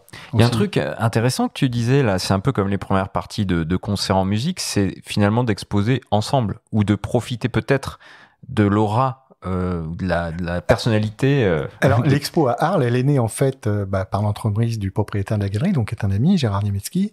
Euh, en fait, il connaissait très bien mon travail. L'autre auteur qui serait exposé, Thierry Vaison, il connaît aussi très très bien son travail. Le travail de Thierry fait que nos trois travaux se complètent mais à merveille. C'est-à-dire qu'on est chacun dans des univers complètement différents, mais graphiquement, visuellement, tout s'emboîte. Moi, j'étais étonné déjà avant même qu'on fasse nos choix d'images quand on s'est rencontrés, on s'est rencontrés là il y a pas encore longtemps, il y a trois semaines, on regardait nos travaux, on se dit mais c'est incroyable, on a l'impression que les images elles ont été faites pour se compléter, se suivre, etc.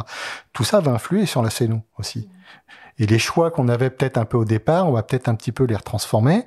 Euh, Je rebondis, j'élargis un petit peu par rapport à tout à l'heure. J'ai un choix très précis d'images, mais que j'ai élargi, j'ai une dizaine d'images en plus, au cas où, quand on va accrocher, quand on va mixer, mêler un petit peu les choses ou pas, bah du coup peut-être retirer celle-là, mettre celle-là. Ah, pour même laver, comme disait Mélanie tout à l'heure, changer l'accrochage. Exactement, moment, exactement. Non, non, mais Donc on je- prévoit je- toujours un peu plus quand même. Oui, hein, enfin, ouais. moi en tout cas, c'est c'est ce qui est prévu dans ce sens-là. Alors c'est un budget, hein, parce que des, des tirages, bon, nous on a opté pour un tirage 40-60 hauteur ou largeur ou du 40-40 parce qu'on va exposer aussi des carrés.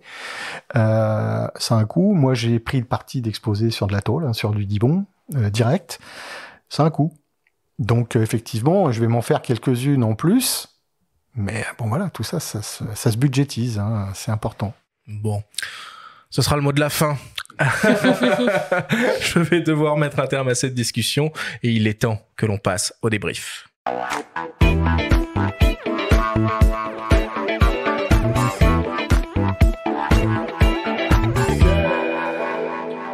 Nous sommes toujours avec Amélie Sanson, la coordonnatrice générale du collectif FETAR et Patrick Lévesque, photographe et journaliste spécialisé pour cette grande discussion autour des étapes incontournables à prendre en compte dans l'organisation d'une exposition photo.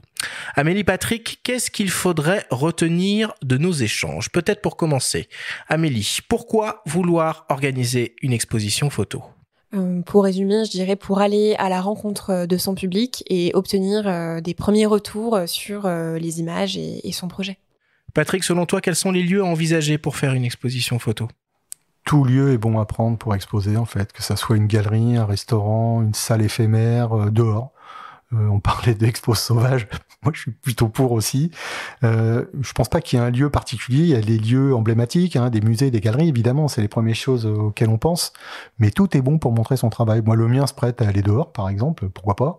Euh, je- je- J'envisage d'exposer dans des conteneurs, c'est pas un truc nouveau, hein, mais ça va bien avec mon boulot, ça pourrait être accroché n'importe où, ça me convient. À partir du moment où c'est vu. Le but pour un photographe, c'est d'être vu. Donc, quel que soit l'endroit, faut qu'on soit vu. Amélie, comment est-ce qu'on conçoit sa scénographie? La scénographie, elle se conçoit en plusieurs étapes. Je pense qu'il faut évidemment considérer le lieu avant tout, les volumes, euh, la lumière que prend le lieu, et puis ensuite on pense à sa série, on voit comment elle peut répondre au lieu, comment elle peut être mise en avant, et ensuite on choisit donc euh, les images, euh, leur format et leur encadrement et leur système de présentation. On ajoutera peut-être juste, comme on a dit dans, dans l'émission, qu'on prévoit un petit peu de rab, au cas où il faille faire quelques ajustements finaux. Absolument. Patrick, c'est quoi les avantages à faire soi-même ses propres tirages d'exposition? Et les désavantages, du coup. Cela je va par- de soi, mon Moi- cher Benjamin. je parlerai pas de désavantages. L'avantage pour un auteur, enfin comme moi et comme beaucoup, c'est que c'est le tirer ces images, c'est un prolongement de, de la démarche artistique qu'on a. Donc euh, c'est euh, c'est aussi un- un choix qu'on fait envers le- la, la personne qui peut acheter ou à qui va voir. hein. Le support va servir notre travail. Donc en plus, quand on le fait soi-même, je pense que c'est une prolongement d'une démarche artistique pour un photographe. C'est important. Les choix des papiers sont importants, sans rentrer dans la technique. Moi, j'ai, puis en, même temps, je m'attache, surtout toujours par respect aux acheteurs et aux gens qui vont voir. J'ai des papiers qu'on a de plus en plus de mal à trouver, des papiers qui n'existent plus. Je stocke, moi, je m'amuse à stocker du papier parce qu'il y en a qui n'existent plus. Là, en ce moment, il y a des pénuries de papier. euh, Il y en a qui n'existent plus, il y en a qui se refont, il y a les nouvelles versions, mais du coup, on préfère l'ancienne. Enfin, moi, j'aime bien ça. J'aime bien pouvoir dire, bah là, vous avez un, un tirage, euh, quel que soit le prix, c'est pas qu'une histoire de prix. Vous avez vraiment, euh, même si c'est un tirage numéroté d'une série de 30, vous avez une pièce unique. Et puis, connaissant ton expertise euh, sur le papier et ton amour du papier, c'est promis, on essaiera de consacrer toute une émission euh, à ça, parce que t'as dit C'est cinq émissions qu'il faut pour Ouais. Euh, Amélie, c'est quoi les tendances en termes de finition de tirage pour, euh, pour une exposition? Les tendances, c'est de sortir euh, du cadre et de quelque chose de très académique, c'est de d'avoir euh, des supports qui soient multiples et qui, par ailleurs, au sein d'une même exposition, expérimentent, euh, différents supports. Euh, on peut imprimer euh, sur de la pierre, sur du verre, sur du tissu. Euh, évidemment, il y a encore des photographies sous cadre, mais c'est euh, des images qui sortent euh, vraiment des supports habituels. Et enfin, pour terminer, quels conseils pourrais-tu donner pour mettre en place un plan de communication et attirer du public à son exposition? À parvenir à faut pas pousser les ISO, bien sûr. Euh, eh bien, je dirais euh, déjà le penser dans le temps, comme euh, on entendait Camille le dire tout à l'heure, c'est-à-dire que ça se prévoit et pas juste deux semaines à l'avance, et euh, d'essayer de jouer un petit peu euh, entre guillemets sur tous les fronts. C'est-à-dire qu'on a d'abord sa propre vitrine avec un site internet, on a euh, évidemment euh, ses réseaux, et puis ensuite on a du print, on a de la presse. Euh, il faut sous-estimer aucun acteur euh, dans la communication, et euh, le bouche à oreille en fait partie. En fait, euh, on a aussi de très bons ambassadeurs à nos côtés avec euh, nos proches, en plus de la presse. Tout est à considérer. Moi, Patrick, je garde les cartes postales que tu euh, envoies Voilà. chaque année pour les vœux et qui sont des cartes postales de tes œuvres, hein, finalement. Oui, oui, tout à fait, oui. c'est des petits trucs qui marchent et qui Mais de restent. toute façon, tout est bon en matière de com, qu'on expose ou qu'on n'expose pas. euh, euh, euh, il faut qu'un un artiste, il se doit d'exister. Donc tous les moyens sont bons pour exister. La période des vœux, ben, c'est une manière de montrer une manière de montrer son travail. Moi, j'édite quelques cartes postales pour moi, hein, quelque part. Je les envoie, je les donne. Ça sert de support de com. Quand on rencontre des gens de galeries, des gens de festivals, bah, on laisse une carte, une carte postale, une petite. Tout est bon en matière de communication. Et pour aller dans plus loin de ce que disait euh, Mélanie, le, le nerf de la guerre pour un galériste, pour un festival, pour un photographe, c'est le réseau de contact. Donc plus le réseau de contact est large, y compris il faut pas pousser les ISO bien entendu, hein, mais plus c'est large, plus ça va permettre de communiquer de manière vaste et d'avoir le maximum de monde. Voilà. Amélie, Patrick, merci beaucoup pour vous- toutes vos explications. Merci.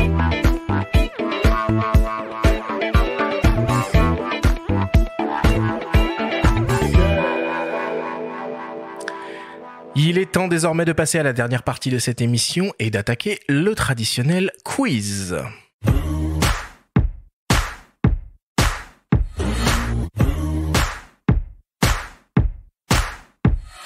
Le principe du quiz est très simple. Nous avons reçu des questions de la part de nos auditeurs qu'ils vous ont posées via notre compte Instagram en lien ou non avec le sujet de cette émission.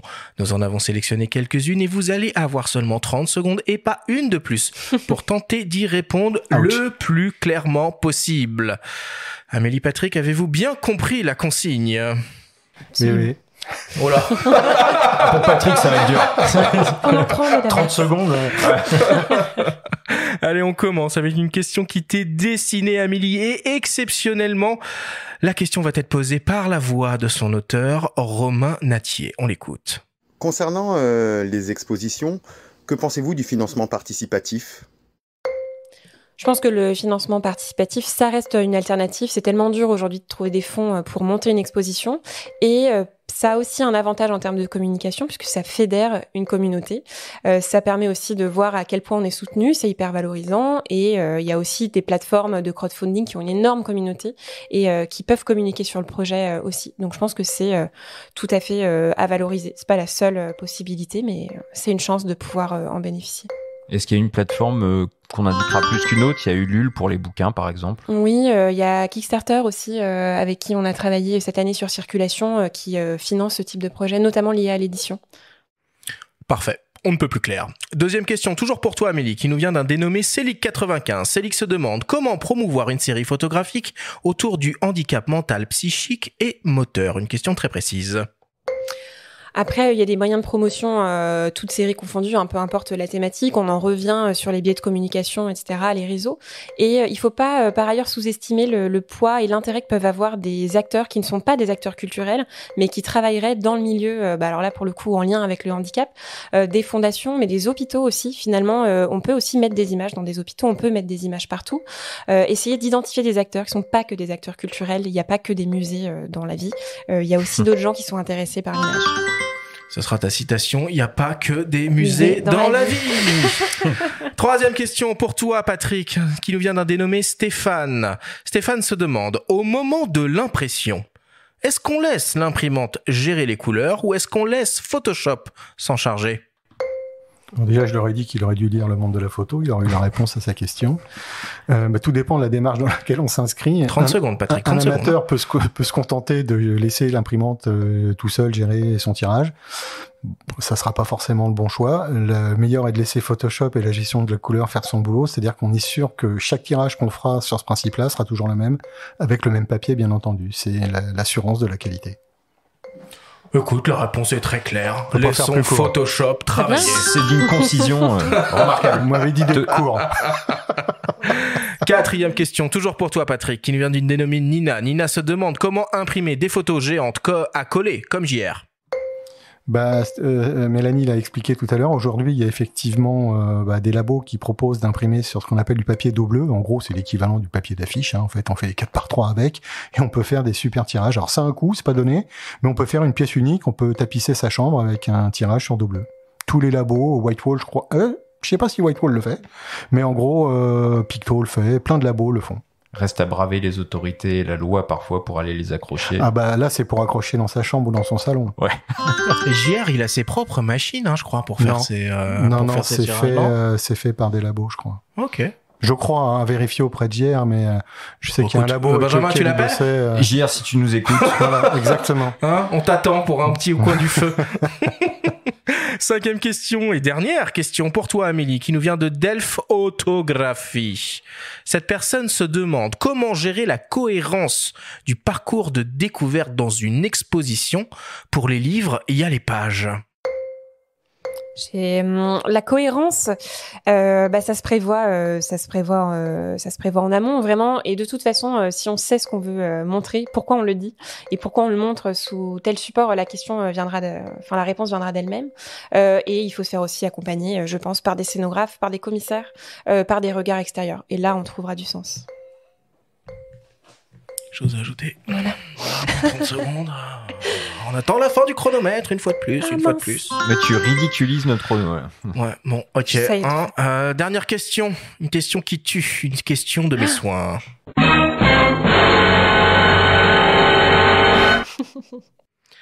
Chardonnay ou rosé pamplemousse pour un vernissage?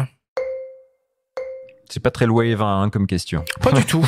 Ça dépend, on est à Arles ou on est euh, où est-on? C'est une question qui tue. Euh, les deux, mon capitaine. Ouais, j'aurais dit les deux aussi, parce qu'il faut contenter tout le monde, il faut être large. Ouais. Il n'y a pas que les musées. Et à manger, du coup, on prévoit des petites choses? Qu'est-ce qu'on qu'est-ce qu'on a dans la besace d'un vernissage parfait? À boire, à manger et euh, de la musique, mmh. bonne ambiance, un photographe ah. qui sait parler de ses œuvres aussi. Et ouais, voilà. ça peut servir. Ouais. Et les gens pour faire le storytelling un peu, pour filmer tout ce qui se passe, le making of. Ouais, ça peut être bien. Oui, une équipe technique, euh, des cerfs-volants. Il faut un budget, quoi. ouais, en gros, ça coûte cher. C'est un coût. Un téléphone. ok, je suis très déçu de ma question qui tue cette semaine, mais c'est pas grave.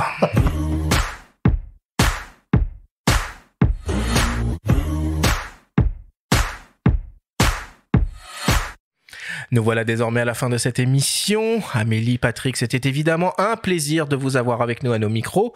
Quelles sont vos actualités respectives en ce moment Amélie? Circulation, c'est fini dimanche. Qu'est-ce qui se passe après? Fini le 29 mai. Alors après, eh bien, on va lancer euh, l'appel à candidature pour l'édition 2023 de Circulation. Allez, on enchaîne. Déjà, donc c'est parti. On est dans le futur. On pense à, au printemps 2023 et on a actuellement aussi une exposition, mais qui se finit le 29 mai. Vraiment, tout finit fin mai pour nous sur euh, les quais de Seine au niveau du, des quais des Célestins. Euh, une exposition, une exposition Visage d'Europe euh, qui présente, voilà, un panorama de la photographie européenne également. Et par contre, si vous êtes de passage à Prague ou à Berlin pendant l'été, on organise dans le cadre de la présidence française au Conseil de l'Union européenne une exposition sur la jeune photographie, sur la thématique euh, écologie et environnement. Donc en extérieur, à Berlin et à Prague. Euh, voilà, n'hésitez pas. Ah, c'est le bon endroit pour ça, Berlin. Oui. Vous êtes très calé Europe, hein, j'ai l'impression quand même à fait. Très calé Europe. Hein, faut, faut, faut, faut, faut grandir, faut grossir, faut Mais, aller voir plus. Alors on loin. que ça. hein. Euh, L'international nous attend. Ça marche. En tout cas, merci beaucoup euh, d'être venu et euh, bah, d'avoir partagé euh, tout ça avec nous. C'était, euh, c'était évidemment super. Merci à vous, c'était un plaisir. Patrick, une expo à Arles cet été, quoi d'autre? Bah, une expo à Arles cet été. C'est déjà bien, C'est hein. une grosse expo, c'est déjà très très bien. Une expo avec en plus d'autres photographes de, de grand talent, donc c'est un vrai plaisir. Et puis, euh, juste pour rester technique, j'attends un petit peu de papier à tester. Là, il y a des nouveautés qui arrivent, donc euh, ça peut donner des idées pour d'autres expos. Tu nous invites à ton vernissage. Il n'y a pas de problème, avec grand plaisir. plus j'ai de monde, mieux c'est. Ça marche. Merci beaucoup, Patrick, d'avoir été, euh, d'avoir été avec nous. La semaine prochaine, c'est Masterclass avec un duo de photographes, Damien Domaine et Sylvain Garderès, spécialistes dans le reportage de mariage. Avec eux, nous allons découvrir toutes les facettes de cette spécialité incontournable pour de nombreux photographes. Merci à tous de nous avoir écoutés, prenez soin de vous et à la semaine prochaine.